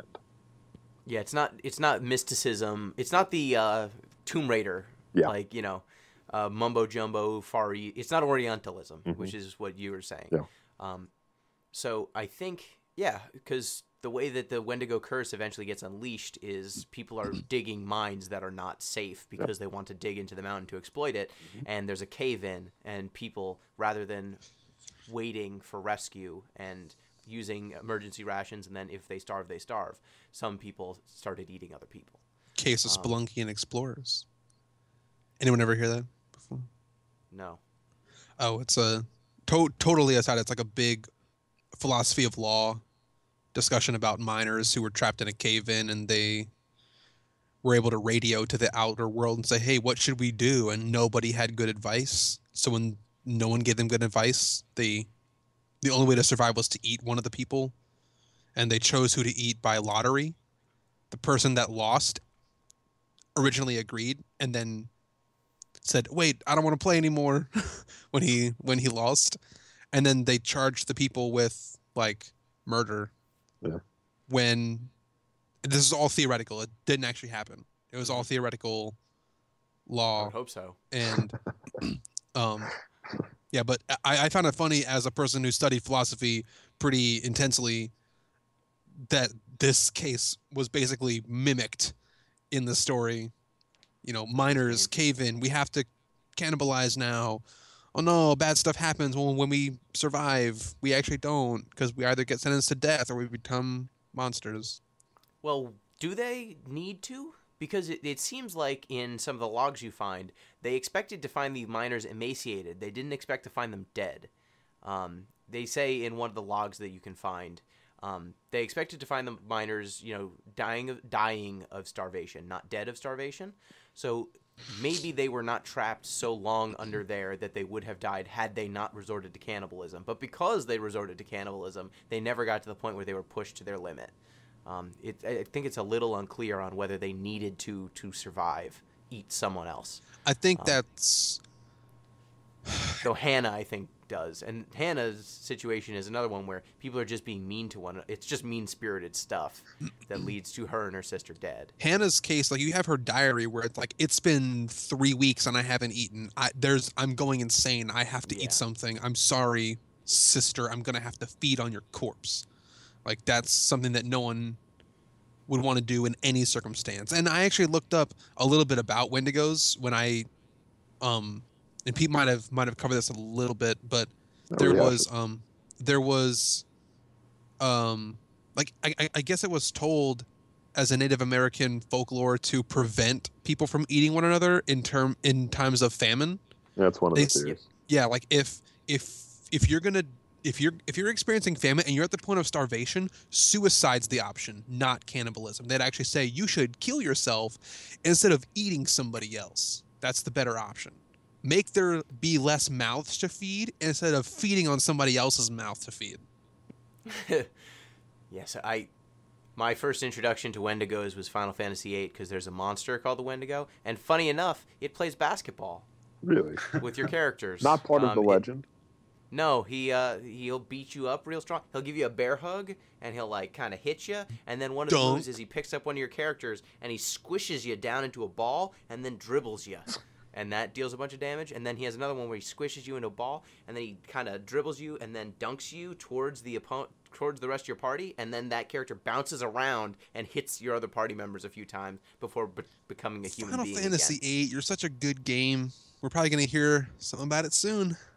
Probably, if someone edits. Very So if we ask sort of, you know, like we like to do, if we extrapolate from this Wendigo problem a little further, right? From the things we've been talking about, from some of the connections we've been drawing, I'd say it does, you know, not a perfect job, right? There are a lot of lot of problems with it, but a better job at least than Final Fantasy in sort of using cultural touchstones appropriately, right? With some sort of Yes. respect for how they operate for where they come from. Yeah, So I think- Final Fantasy does not care Yeah. where it comes Final from. Fantasy, shit. No, Shiva's Shiva's an ice goddess now. Quetzalcoatl's a giant thunderbird. Ifrit, I think fire god. I think the question we can ask is how much cultural appropriation we can accept from video games, right? And I think part of this, if I can, you know, toot academia's horn for a second. Please do. I think part of this is that there's a lack of scholarship around video games. If you ask sort of who asks the questions about, like, who points out that Heart of Darkness is a pretty racist book, right? Academics. And I don't think we have that sort of apparatus for video games, and so they get away with a lot more of this stuff that wouldn't be acceptable in other mediums. I'm hoping that video games get there. So yeah, I think that that's coming in now. Um, there's a lot more critical writing coming in, especially in the last five to ten years. Um, a lot. The problem is, it's really outside of like, first you need to convince a um, some sort of college to hire you as a professor of video game literature, Yeah, that's a good which, point. to my knowledge, is a position that only really exists at maybe a few dedicated game schools. Pretty much impossible, probably. Pretty much impossible. Pretty right much now. impossible, probably. I, I mean, I haven't seen that outside of a few handful of, of people that I've seen speaking at gaming events. So, um, then if you're not going to be a literature, like an actual um, tenured professor, you have to, I guess, get paid as a journalist or as a critic with a Patreon account or something. But as a journalist, there's not really a lot of money in writing long form analyses of games. one of those- even though that's what we do here. Journalisms that don't get paid. Yeah, and then if you don't get paid, that means you're not eating. which Yeah. means you're probably not. It You means should probably have a side tough job. wet to go if you start eating people. That's true. Um, there's a commentator on YouTube named Mr. Beaton. Um, have y'all watched any of his videos in the past? Oh, well, he has a lot of great insights, and he has a um, episode about this issue exactly. And so his conclusion is because the infrastructures in traditional academia just completely aren't there for video games and won't be for a very long time until they've become such a part of the cultural mainstream for so many years that they can begin to be studied and analyzed that essentially the internet has to um, serve as the, The classroom. um, yeah the and classroom the the yeah the um, stage for the debate about video games Teacher and student. yeah what it really is and um, so in fact we're contributing to it now in our own little way but oh um, God. yeah right Don't listen to this.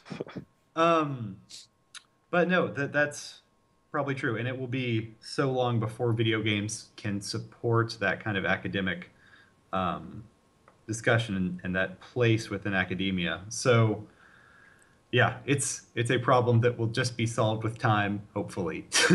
Yeah, I mean, we're still of an age where film critic or film professors had to justify their positions and True. remember having to justify their positions. Yeah. So, I think video games have a little bit of ways to go, considering motion pictures were around in, I believe, the advent was in the 1920s or 30s. I mean, even genre fiction, you know, Western scholars, detective story scholars, they still have to justify their studies, and how they've been around you know, yeah, since books. globalization professors, Yeah. professors like some it, subcategories of established uh, mediums. Still, True. you have a hard time. Not to mention the ongoing struggle for just becoming a professor in general of literature in the modern environment, which isn't a great conversation. Hey, Pete, sorry, It's just heartbreaking. The you chose the this. struggles. I did. I did choose this line. Yeah. So speaking of being the people who call out when games kind of go astray and maybe do some things that are a little despicable, um, the way mental illness is handled in this game made me a little bit upset. I suppose, especially considering we played to the moon, Yeah. and that game handled mental illness incredibly well. We played Even Psychonauts. Psychonauts. did a pretty Yeah, well. Psychonauts showed respect Yeah. to to mental illness in some spots. This game does not. Um, so first, I just want to discuss Doctor Hill, those sequences. Okay. Um, like I said earlier, uh, that's kind of Silent Silent Hill Shattered Memories. I believe is a game that used the exact same conceit. You are talking to a psychiatrist. They are taking notes on you, and how you answer certain questions will change the way the game appears. In that game, your first interview could be like, "Do you prefer men or women? Um, if you prefer women, what do you prefer about them?" And if you say something sexual, like there are characters that will, sh- there's a character who shows up who's a woman, and if you uh, say that you like attractive women more, like her hair color will change, like the buttons on her dress will get on her uniform will get unbuttoned depending on how you answer the questions, or rebuttoned, or she'll have different hair color, and a lot of the game changes based on the questions that based on the way you answered. Even the monsters change depending on what scares you most or what your particular hangups are. Um, this game does that exact same thing. Um, so, how did you guys answer? I guess the first major battery was um, questions just kind of showing you two um, scary things, and you could pick one or the other. Um, what did you guys end up as your like key fears? Uh, his room will change to reflect what your key fears are. I shouldn't go first. So, for example, mine mine were a snake in a jar who hissed at me the whole time, a needle, some gore like a animal on pins, and then hanging on a meat hook was a scarecrow. And those were, I guess, what the game keyed in on and said, okay, these are the things you're really scared of. So we're gonna fill this room full of those things. Um, what did you guys see? So Tyler. Yeah, I had needles, a beating heart, and a mannequin that was like moving around. Um, yeah. um, that. But I know it actually affects the um, game in a small manner. Like I noticed Yeah. in um, my playthrough, I had needles, and in my friend's playthrough, um, the the psycho has like a gas mask that he uses to incapacitate people instead Oh, of a needle, which frankly just seems Oh. less efficient. But um, so that was neat. Although what it's actually saying about the game in the context of the reveal is that Josh is specifically attempting to incapacitate people with his own fears, which is a weird conceit when you think about it that way. But it works in in the game's context. Yeah, and I think that that conflation. So early on, when you were seeing those sequences uh, with Doctor Hill, who did you think was in the chair? Do you? Because I thought it was me. I thought Yeah. it was supposed to be a player analog. They're talking about you're playing this game with these people and their lives. Who are you to do this? Why would you play this game? And over time, I'm like, okay, so this is it's breaking the fourth wall. This is uh, postmodern analysis. He, here are the tropes. Why are you doing this? Yeah. It's questioning the entire lineage of horror. Um, and then eventually they reveal it's kind of it's Josh. Um, but then there's the second battery of questions, which is which of these characters do you like the least? I guess first, Billy, what were your things? All right, so I played the game wrong, I guess, because I mean, first of all, I'm, I'm gonna say that you can't play a game wrong. It's a game's fault if you can play a game wrong, right? Um, Oh, okay. yeah. hey, hey, hey, game designer wannabes, like, hey, what's up? I'm gonna say it's a game's fault if you can actually like mess up playing a game. Right? Okay, You so sh- how did you? So I didn't mess up, but what I'm but what I'm about to say is gonna, I guess, shed some light on the point. I just Hopefully. I just knew that this game was asking me what I was afraid of, so it could scare me. So I just picked the things that I that I was not afraid of. So you did not suspend your disbelief. You just I just said, well, I mean, all right. You opted out. I just, I mean, I had the option to, because somebody, That's- you know. So the only But thing, he berates you. He says it's better if you answer accurately. fuck that guy. Whatever, yeah, Yeah, do whatever I want. You You don't tell Peter Stormare not to tell you scary things in a weird way. Yeah. Well, anyway, That's not um, that's not playing the game wrong. That's just refusing to play it. so I I keep picking up these cards in Candyland. They're telling me to go to certain colors. Nah, Fuck that's not what I'm about. I'm gonna go visit the the peppermint forest. um, Okay, go ahead, Bill. So yeah, I saw that as a pretty cheap way to develop scares. I said, "F that, I'm not gonna do it," and I picked things that weren't scary to me. This was on the. and then you not the play- by those things. It wasn't on the scary? playthrough that I did with my friends, because I think somebody else was primarily picking, um, well, those things. Somebody else was playing at that time, so it was primarily their fears. We had a little bit of input, but um, it was primarily their fears, not mine. So I was already kind of dis, like, disconnected. And then on the Let's Play that I saw, they picked almost all of my fears, so I got a little bit of that too. And then when I replayed again, I said, "Hey, I'm just gonna mess around and see what happens." So yeah, I directly picked the things that I wasn't afraid of, and I don't feel like I, I don't feel like I gained anything, which is pretty obvious to say, right? But I don't feel like I lost anything either because only thing that I lost were like the cheapest of jump scares in the game. Like there's one time you're walking through a forest and um, this is one of the kids' pranks. Like something pops up at you and it's, and it's either a clown or a zombie. That's it. That Or a makes no scarecrow. difference. What a scarecrow. That makes no difference. I don't like scarecrows, so when I saw it, I was like, ah, scarecrow. I don't like Fine. clowns. Like that is the cheapest scary thing to me. So know, I think the velocity with which it appears on the screen like merits a jump scare regardless, right? It doesn't. That's what I'm didn't saying. have time to Whatever it was, thing it was going to be a jump scare. Hmm? It could have been a bunny rabbit, and it would have been a jump scare. Yeah. Not like a Donnie Darko bunny rabbit. Would've That, been a that- literal that, jump shit is scare. actually scary. The Donnie Darko rabbit is actually scary. Yeah, that Yeah. the worst. And then the second one, when you're picking which of these characters you like the least, um, I ended up with Josh as the character who I like the least, Yeah, he sucks.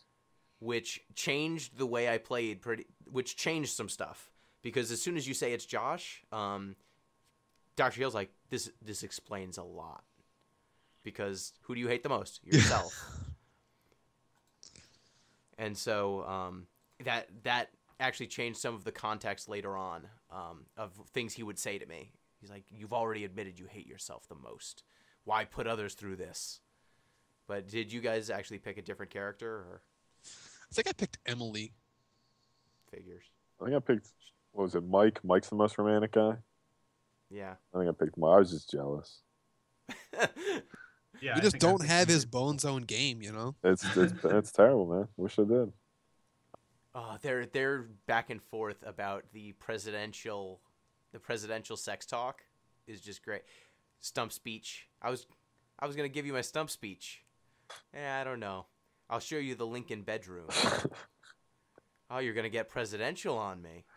Just wicked games, but Just so much good game. Um, but what did you guys think of kind of that breaking of the uh, the fourth wall? At least it appears at first as though the game is making a commentary on playing a game where you're putting these people in jeopardy. Why you would do that? What do you have to gain from doing something like that? I thought it broke you the appreciate momentum. it?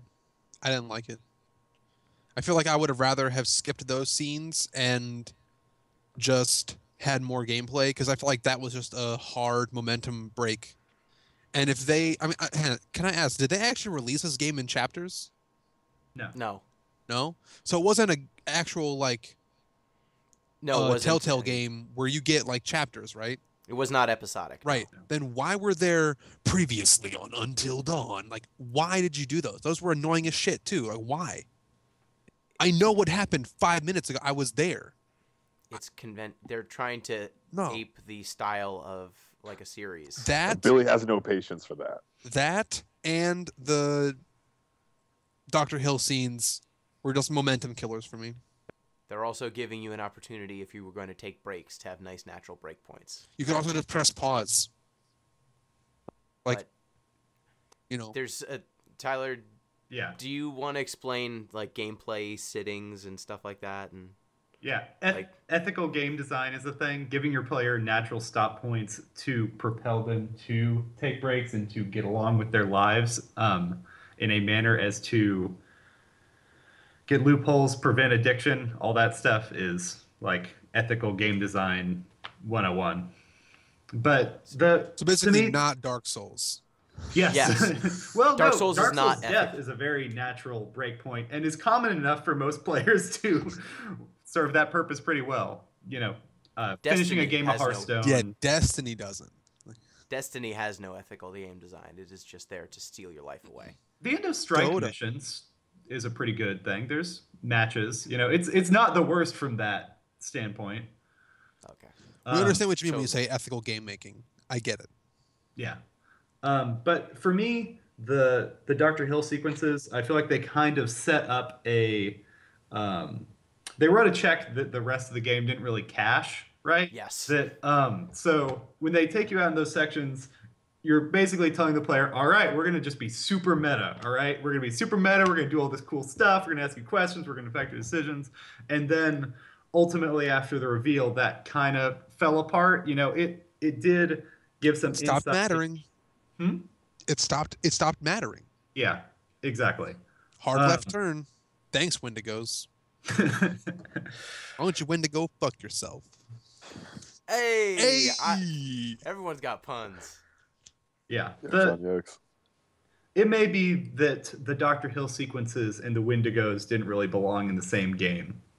Um, the they abandoning a lot of the meta narrative to be Wendigos makes the Doctor Hill sections a lot less meaningful. But um, you know, doing the whole postmodern thing, doing uh, breaking the fourth wall like that did um, indicate to me exactly how self-conscious the game was and that it was going to be setting up those tr- tropes to be knocked down so in that way i think they helped what the game was trying to do right it, it got me into that mindset of we're playing with tropes we're playing with genre It helped like the first six hours immensely, barring my complaint about momentum breaking.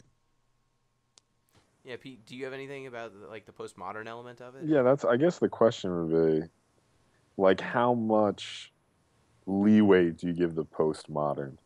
Like, how many how many posts can you append to the front of that thing? Like, all right, maybe they weren't postmodern, but maybe they were post postmodern. You know, like they set up a conceit. Oh, this is going to be metafictional. No, it isn't. Oh, that's so post postmodern. I guess it just depends how much leeway you want to give them. I agree with most of the stuff we've said. Like, it seems like they were setting something up that ultimately they didn't follow through on. But I think maybe there's an argument to be made for the intentionality of that. You know, it's still annoying, but it's intentional. You know? Yeah, it, there was definitely a lot of intent, and I guess, yeah, post postmodern. They're setting up a postmodern twist. It's gonna be like a complete spin on. Oh no, actually, it's just it's another horror movie. It's a twist on the twist, which brought it back to the beginning. Like, exactly where it was in the beginning. Oh god. yeah, right. And then the part is where when they strip away the conceit, it just reveals that Josh is insane. Yeah. Is the central conceit. The conceit is that he has a mental illness, and because he's mentally ill, he is dangerous, he is unpredictable, and he has caused this harm to all of his friends. And he is the only character who cannot be saved. Um, you can say that he can be alive, but the best case scenario for Josh. Actually, I don't know what best case is in this. Is it being dead or is it being a Wendigo? Which is better? Can he be dead? Yes, he can be dead.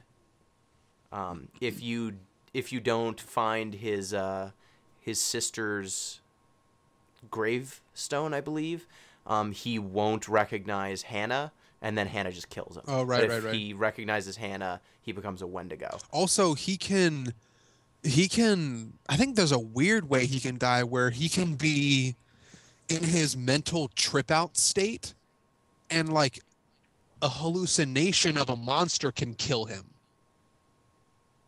Really? I think I might be I might be I might be wrong on that, but I know that I all right. I watched a couple of videos. I watched every single death possibility in a YouTube video, and that's one of them. One of his death possibilities is like right when he falls down the pit or whatever, and before what is it, Mike and Chris, Sam Mike him. and Sam find him in the mines. He's in like a little corner of the cave, just talking to himself. But from his perspective, like there's monsters talking to him, Yeah. and one of them can kill him. And I don't know if that's supposed to represent like his mentality just shattering and him just absolutely losing it, or if he actually dies, dies. I don't know. I'm not sure. But I think that's one of his I- death options. I'm gonna go fact check that. You can you can continue, but I'm I'm I'm I'm gonna fact check that right now. Yeah and it, yeah. it may be worth pointing out that the reason that he gets captured is because his friends kind of freak out over him and his actions, right? And lock him up in a, you know, icy barn away from everyone else. Like it's Mhm. them so thoroughly rejecting him and then leaving no one to guard him that ultimately leads to him dying or worse. Yeah, and the thing is, his mental breakdown scene was what really got me. Um, when he is starting to talk in different voices and he starts humping the air and he starts saying things that up until that point is completely he's relatively composed. Like you know bone zone comment notwithstanding. Um, he's saying things that are pretty normal. There's no reason to suspect like if he has a mental illness he has it under control it would seem. But then when it goes on to say he's the psycho all of a sudden he's acting not just crazy but like comically crazy like in such a way that justifies him being treated incredibly poorly by everyone else. He doesn't apologize when the game is up. He starts buying into like he didn't do anything to Jessica. But instead of being empathetic and starting to really try to help the situation and make amends with his friends, he just goes off into like this weird haze that's set up to make you distrust him um, instead of making you know mental illness to be depicted in a way that's something hopefully realistic or a little bit more sympathetic. Um, I feel like it's used as a crutch to make you dislike him, so that when he gets snatched, you're kind of really questioning whether you should save him. Mm. And and it really, it wasn't. I, I just didn't like that. That was the twist. It's not that he is vengeful. It's not that he is wrathful, and that's why he's doing this to his friend. It's they also have to throw on, and he's mentally ill, and he's off his medication, and that's why he's doing all of this. When I feel like you could have just said, "Hey, these people killed his sister," basically, or he believes they did and blames them for it, and that would have been enough of a justification without having to throw mental illness on top of it. Yeah, I mean, everybody loves the sort of the Count of Monte Cristo narrative, right? Person's wrong. He spends a year planning this elaborate revenge. Like that would have been a another year, I think, right? in Count of Monte Cristo or in Yeah. the game. Count of Monte Cristo, it's forever. It's like Yeah. years. Basically a Game. lifetime. Yeah, the game it's only is it one year? It's one year. Yeah. One year the exactly. game it's one year. So yeah, they easily could have done that, right? But I mean, I think it may even becomes more problematic that it's not essentially because I, I, I believe he had some sort of, you know, mental issues earlier than that, but it's essentially a trauma-based illness, right? Like it's seeing his sisters killed that sort of pushes him over the edge here, isn't it? No, you can actually find a medic. So if Sam does not get captured by Josh, Right. she can wander around his like psycho lair, and in there you find a cell phone with texts from Doctor Hill saying you should see me. Your plan. I guess he talked with Doctor Yeah. Hill about his plan to play this game, and Dr. Hill said this is not going to get you the closure you need. I think it's just going to be worse for you. And you can find his medical records. Okay. And in his medical records, it says he's been seeing a doctor for X amount of years, and at a certain point, he some of his medication stopped working, and he had to be put on a new medication. And then the last part of the transcript is like he's off his medication. Okay. Um, after his sisters, he goes back in, gets treatment, but you know the last log is maybe he's off his medication. What's going on? Gotcha. um, and that's kind of used as a way to explain his erratic behavior. And uh, I don't know, it just the scene where he's like humping the air and doing all that stuff. It really didn't sit well with me. And like he's starting to talk in funny voices, like it becomes almost comic relief how insane he is. Like when uh, he gets stabbed by Ashley in the in the arm, I think he says something Like, like lesson "Snappy." learned. Yep. Lesson learned and then he punches her in the face Well, also he And- goes into a what is it a like a John Wayne impression when Yes. he loses it, and then it makes his earlier John Wayne reference now different.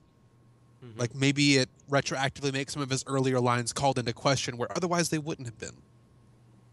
Yeah and then there's the insanity effect at the end with the pig and the the sisters coming back and him freaking out and then the only answer is to hit him to get him to snap out of it.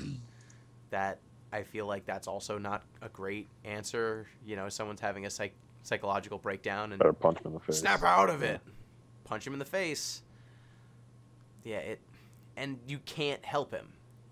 Never do the other characters find a way to help him deal with the trauma the answer is to leave him behind um, and basically cut him out and i feel like that's and really they're endangering their own lives by going after him like trying to save him almost gets everyone killed I mean, again, there's. I, I think you're absolutely right about everything. well, not everything, Gino. You're absolutely right about this. Um, again, there's a way to sort of do that sort of post post trick with this too. Like, obviously, given the way the majority of you know the country, the legal system, the ha- mental health system treats, or I shouldn't say the mental health system, but the way you know certain subsets of our society treat mental illness. Of course, there's no way to help them. Like, of course, there's only an abandonment. But I think at this point, you know, whatever we say about the Dr. Hill thing, that's giving the game, I think in this case, far too much credit.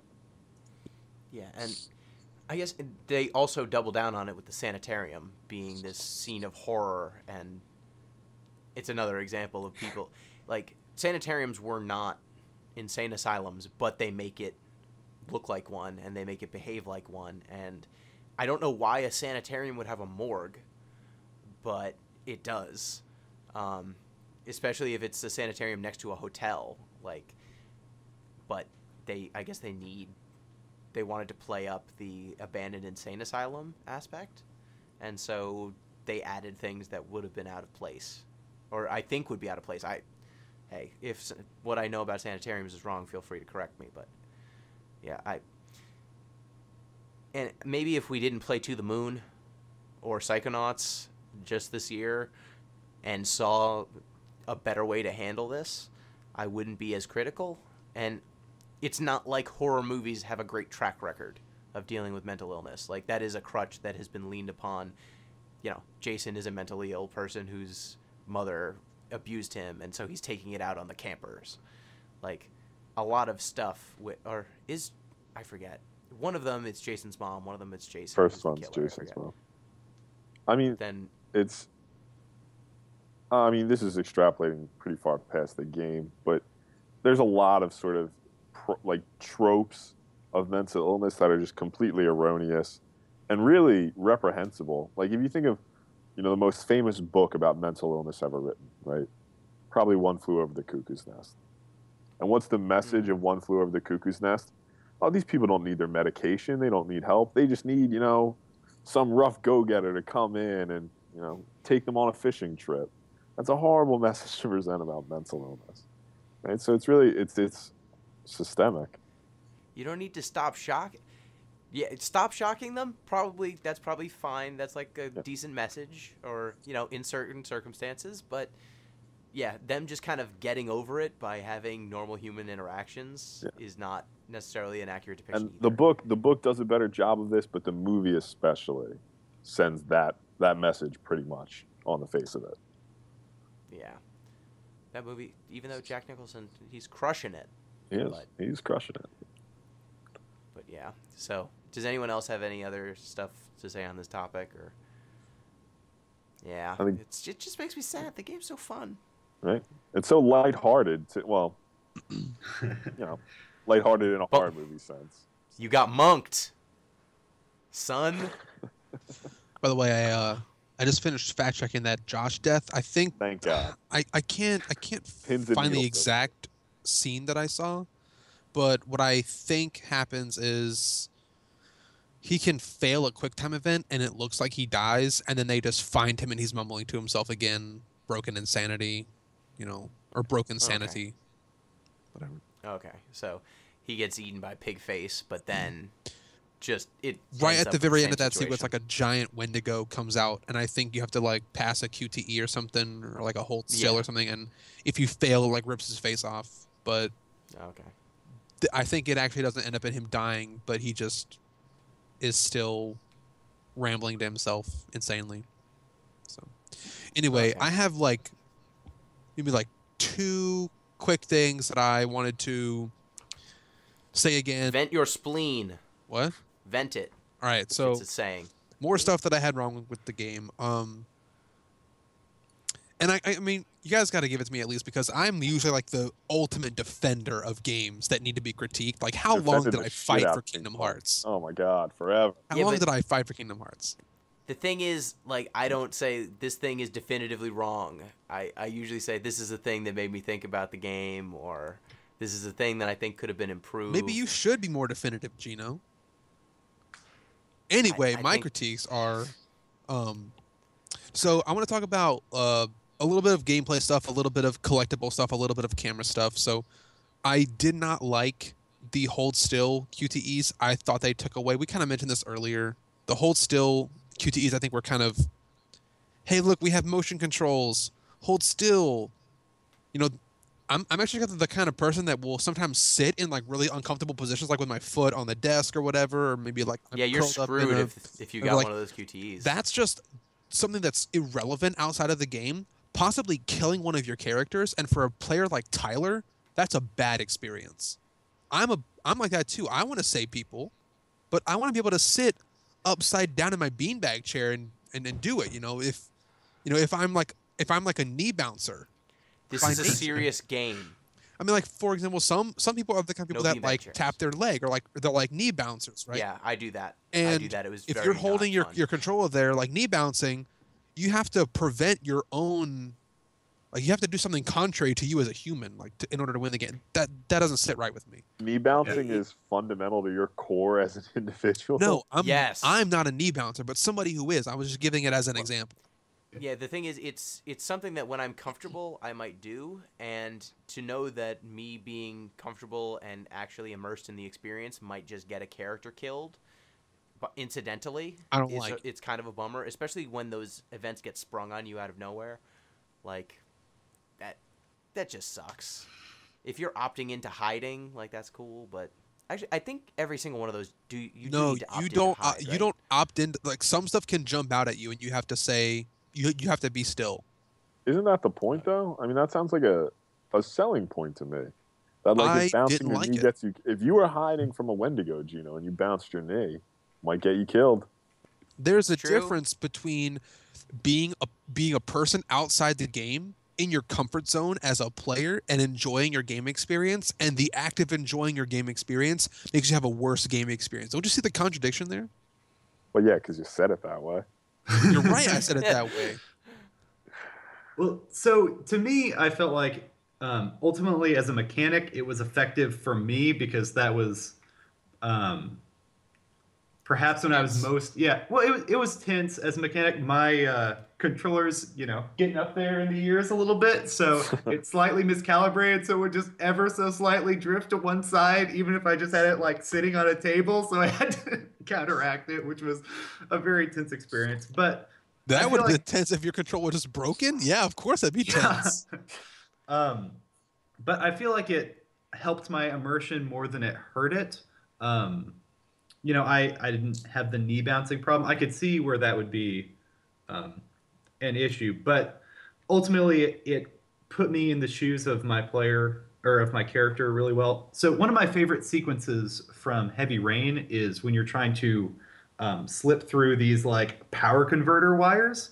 And so what they have you Yeah. do is contort your hands into all these weird shapes, like press like uh, square and triangle, and then like an R2 button and like move a joystick, all this weird stuff at the same time, so that you as a player are getting the same experience of contorting yourself into a weird shape as the character is on screen. And so having to like teach the player those prompts and everything breaks your immersion a little bit at first, right? Because you're aware it's a game again. But once you kind of get used to it, I feel like um, it's not mechanics as metaphor, but it is a effective way to create a kind of immersion and a kind of feeling in the player that I feel like it did a good job of doing. Yeah, and there's a button mashing sequence in Metal Gear Solid 4 that's very famous where you have to mash a button through a very dangerous obstacle and it's supposed to mimic the pain that the character is going through trudging through this.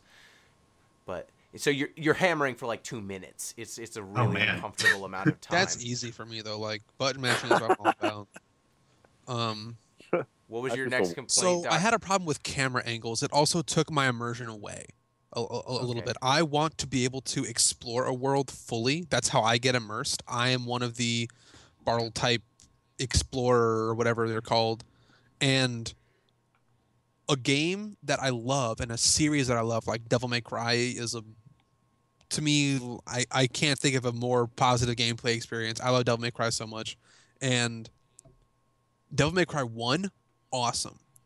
Biggest drawback is camera angles. It just actively hurts gameplay a little bit.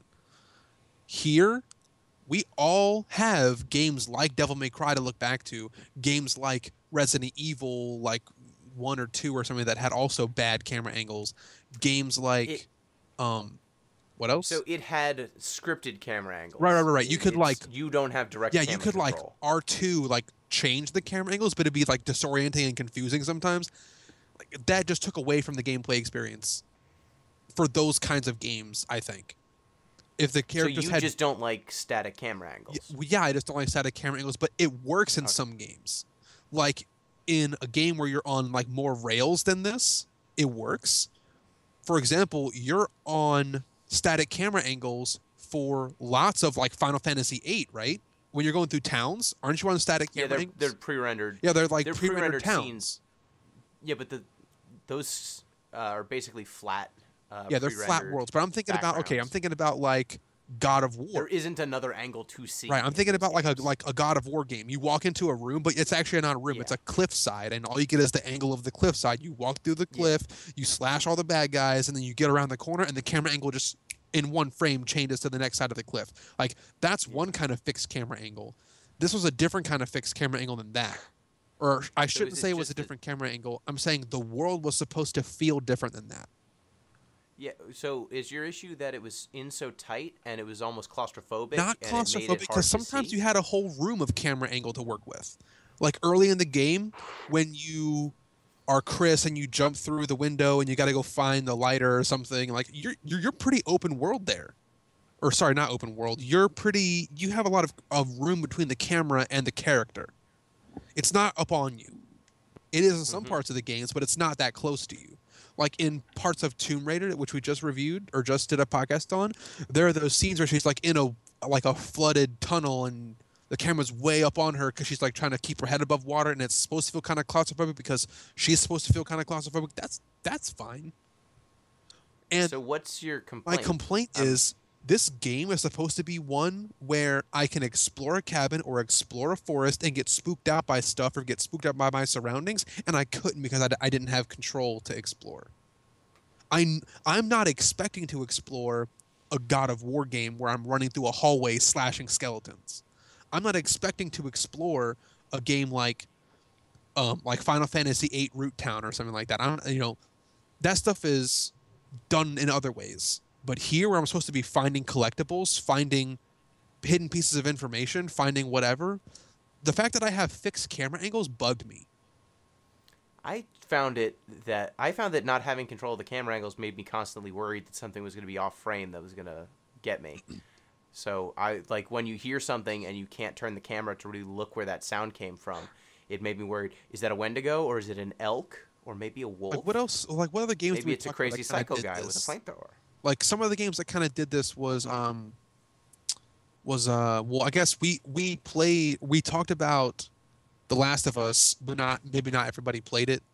Uh, Gino, you played it. Tyler, you probably played it, right? Mhm. The Last of Us. And there were parts in that game where you are in a fixed scenario, like you're in like a room and you have control of the camera angle, but everything else is pretty fixed. Like you can't leave the room, you have to be talking to certain people, you have to be in a certain space until certain plot points get played out. But the camera's not stuck up in the top corner in some isometric view. I don't like that restriction. I feel like it Okay, so took a little bit away from the game.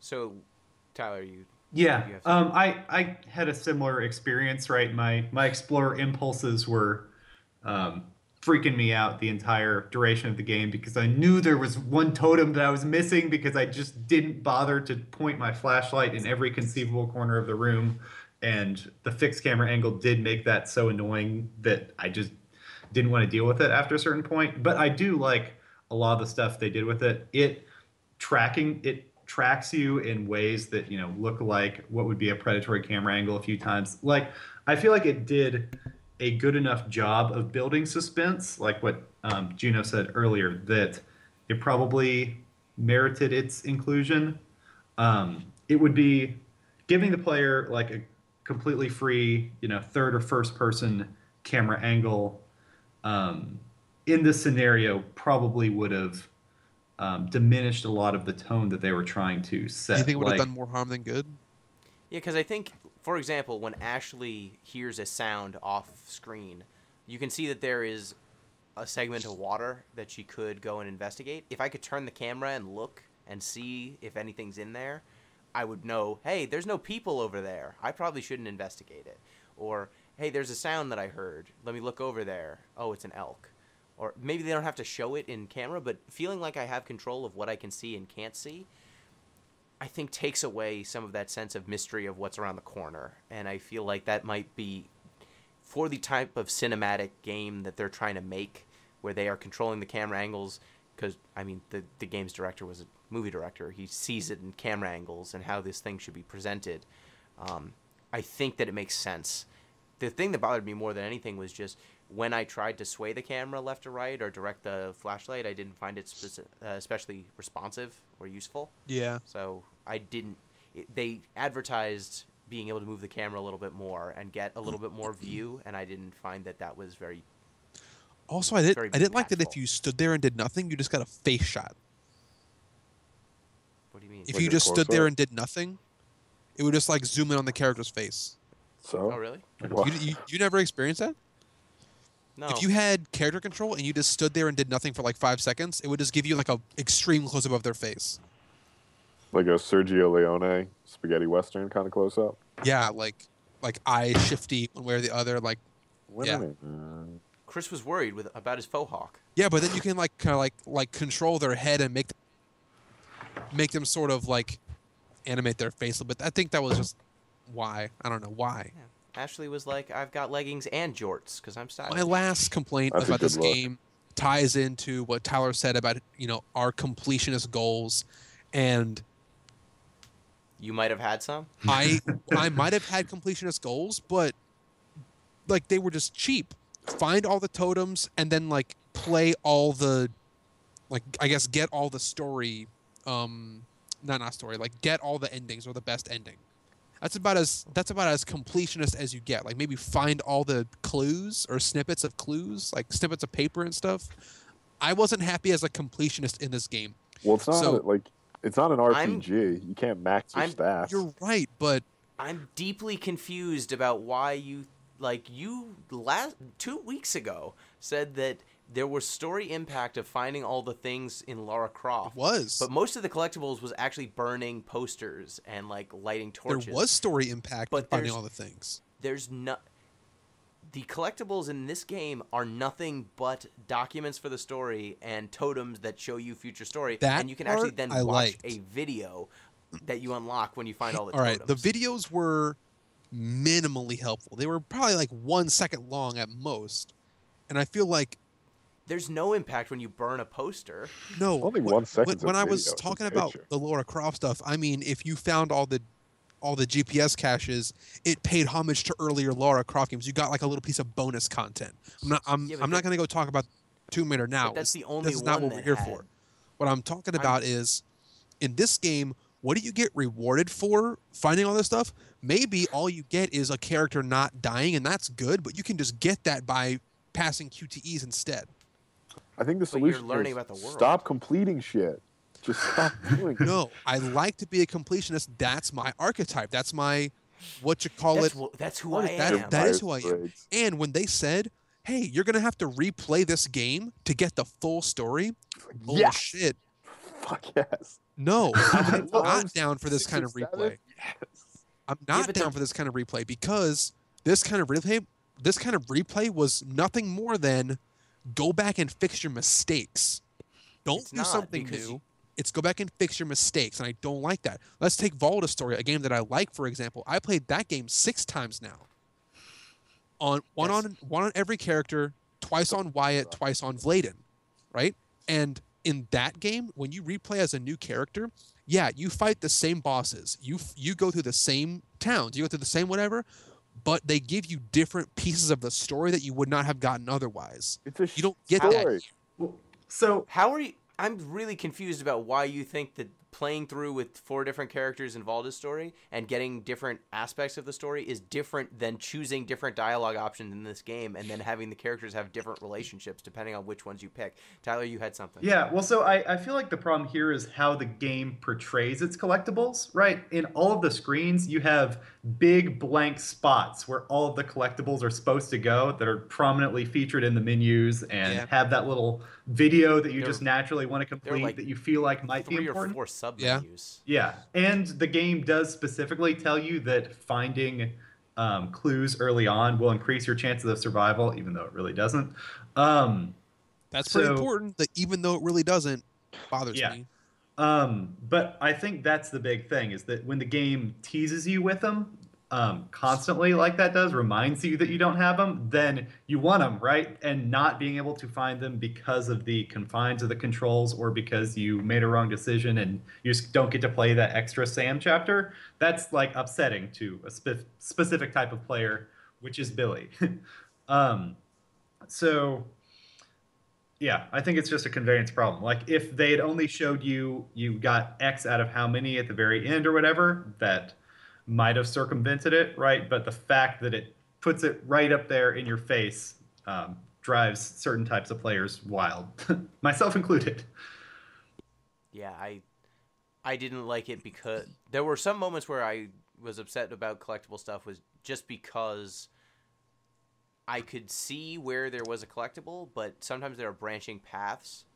And um, I did not realize that I went down the wrong fork in the road. And then when I went down that wrong fork, you know the old video game design thing where there's two, there's a fork in the road. One's going to end in a treasure chest. The other one's going to be the right way to go and you kind of have to get that feeling of have i gone far enough away where this is actually the right path i should probably go down the dead end Yeah, I know that Um, feeling so firmly in my heart as a as a completionist. I know before there's even a fork, which way the treasure is.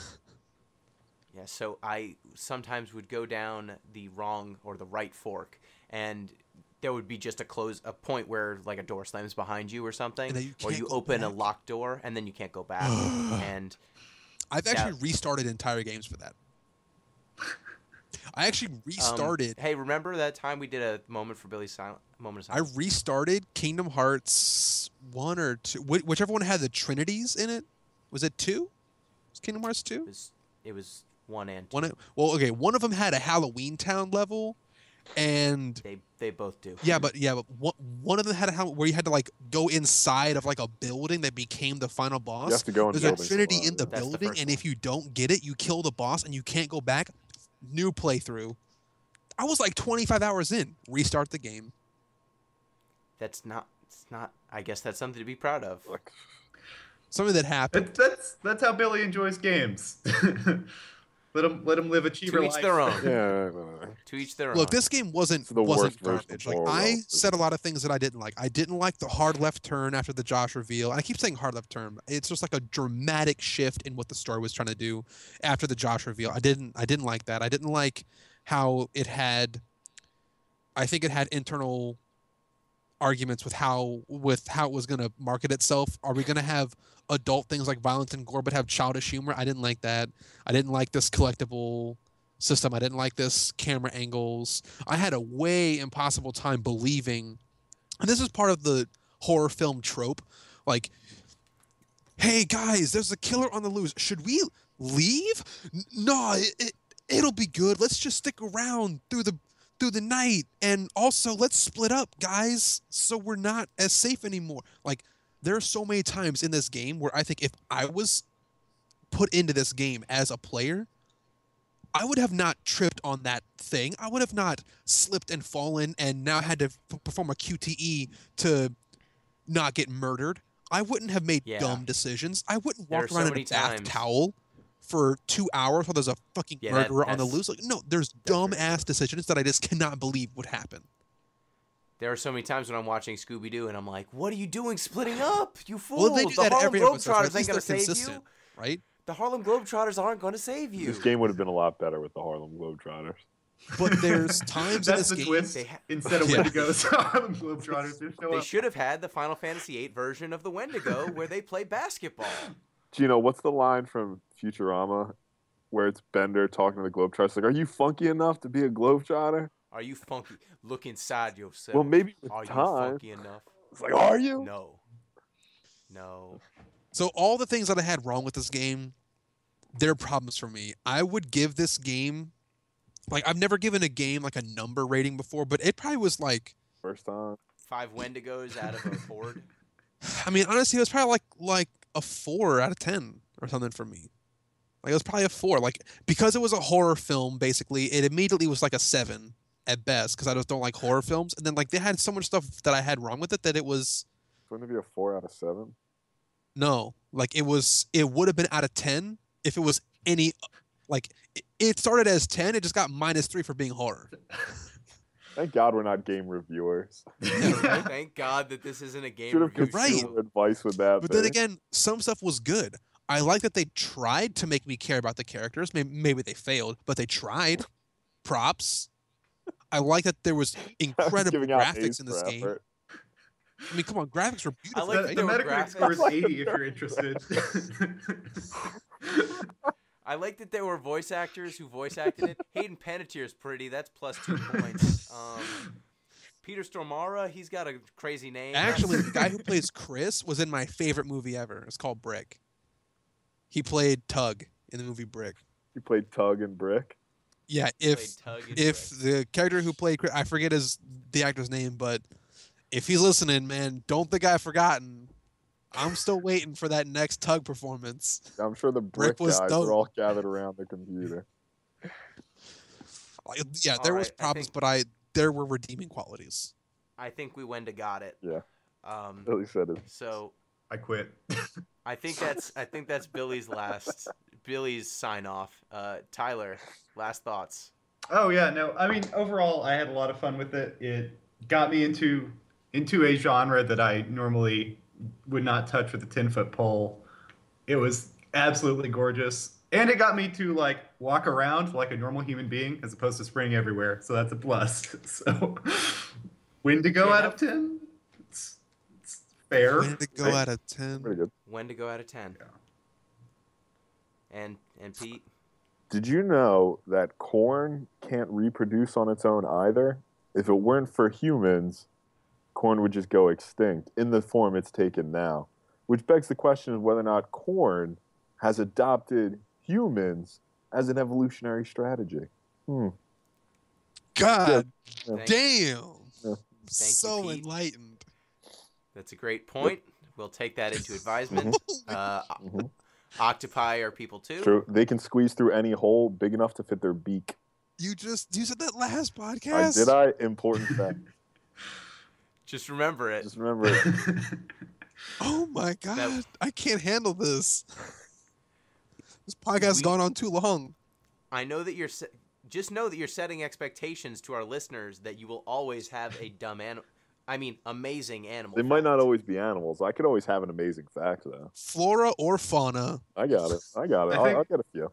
I think the octopus thing should just be your sign off from now on. Just, Yeah. just that one every fact time. Remember, Just kids, remember. octopus, octopi can fit through. All.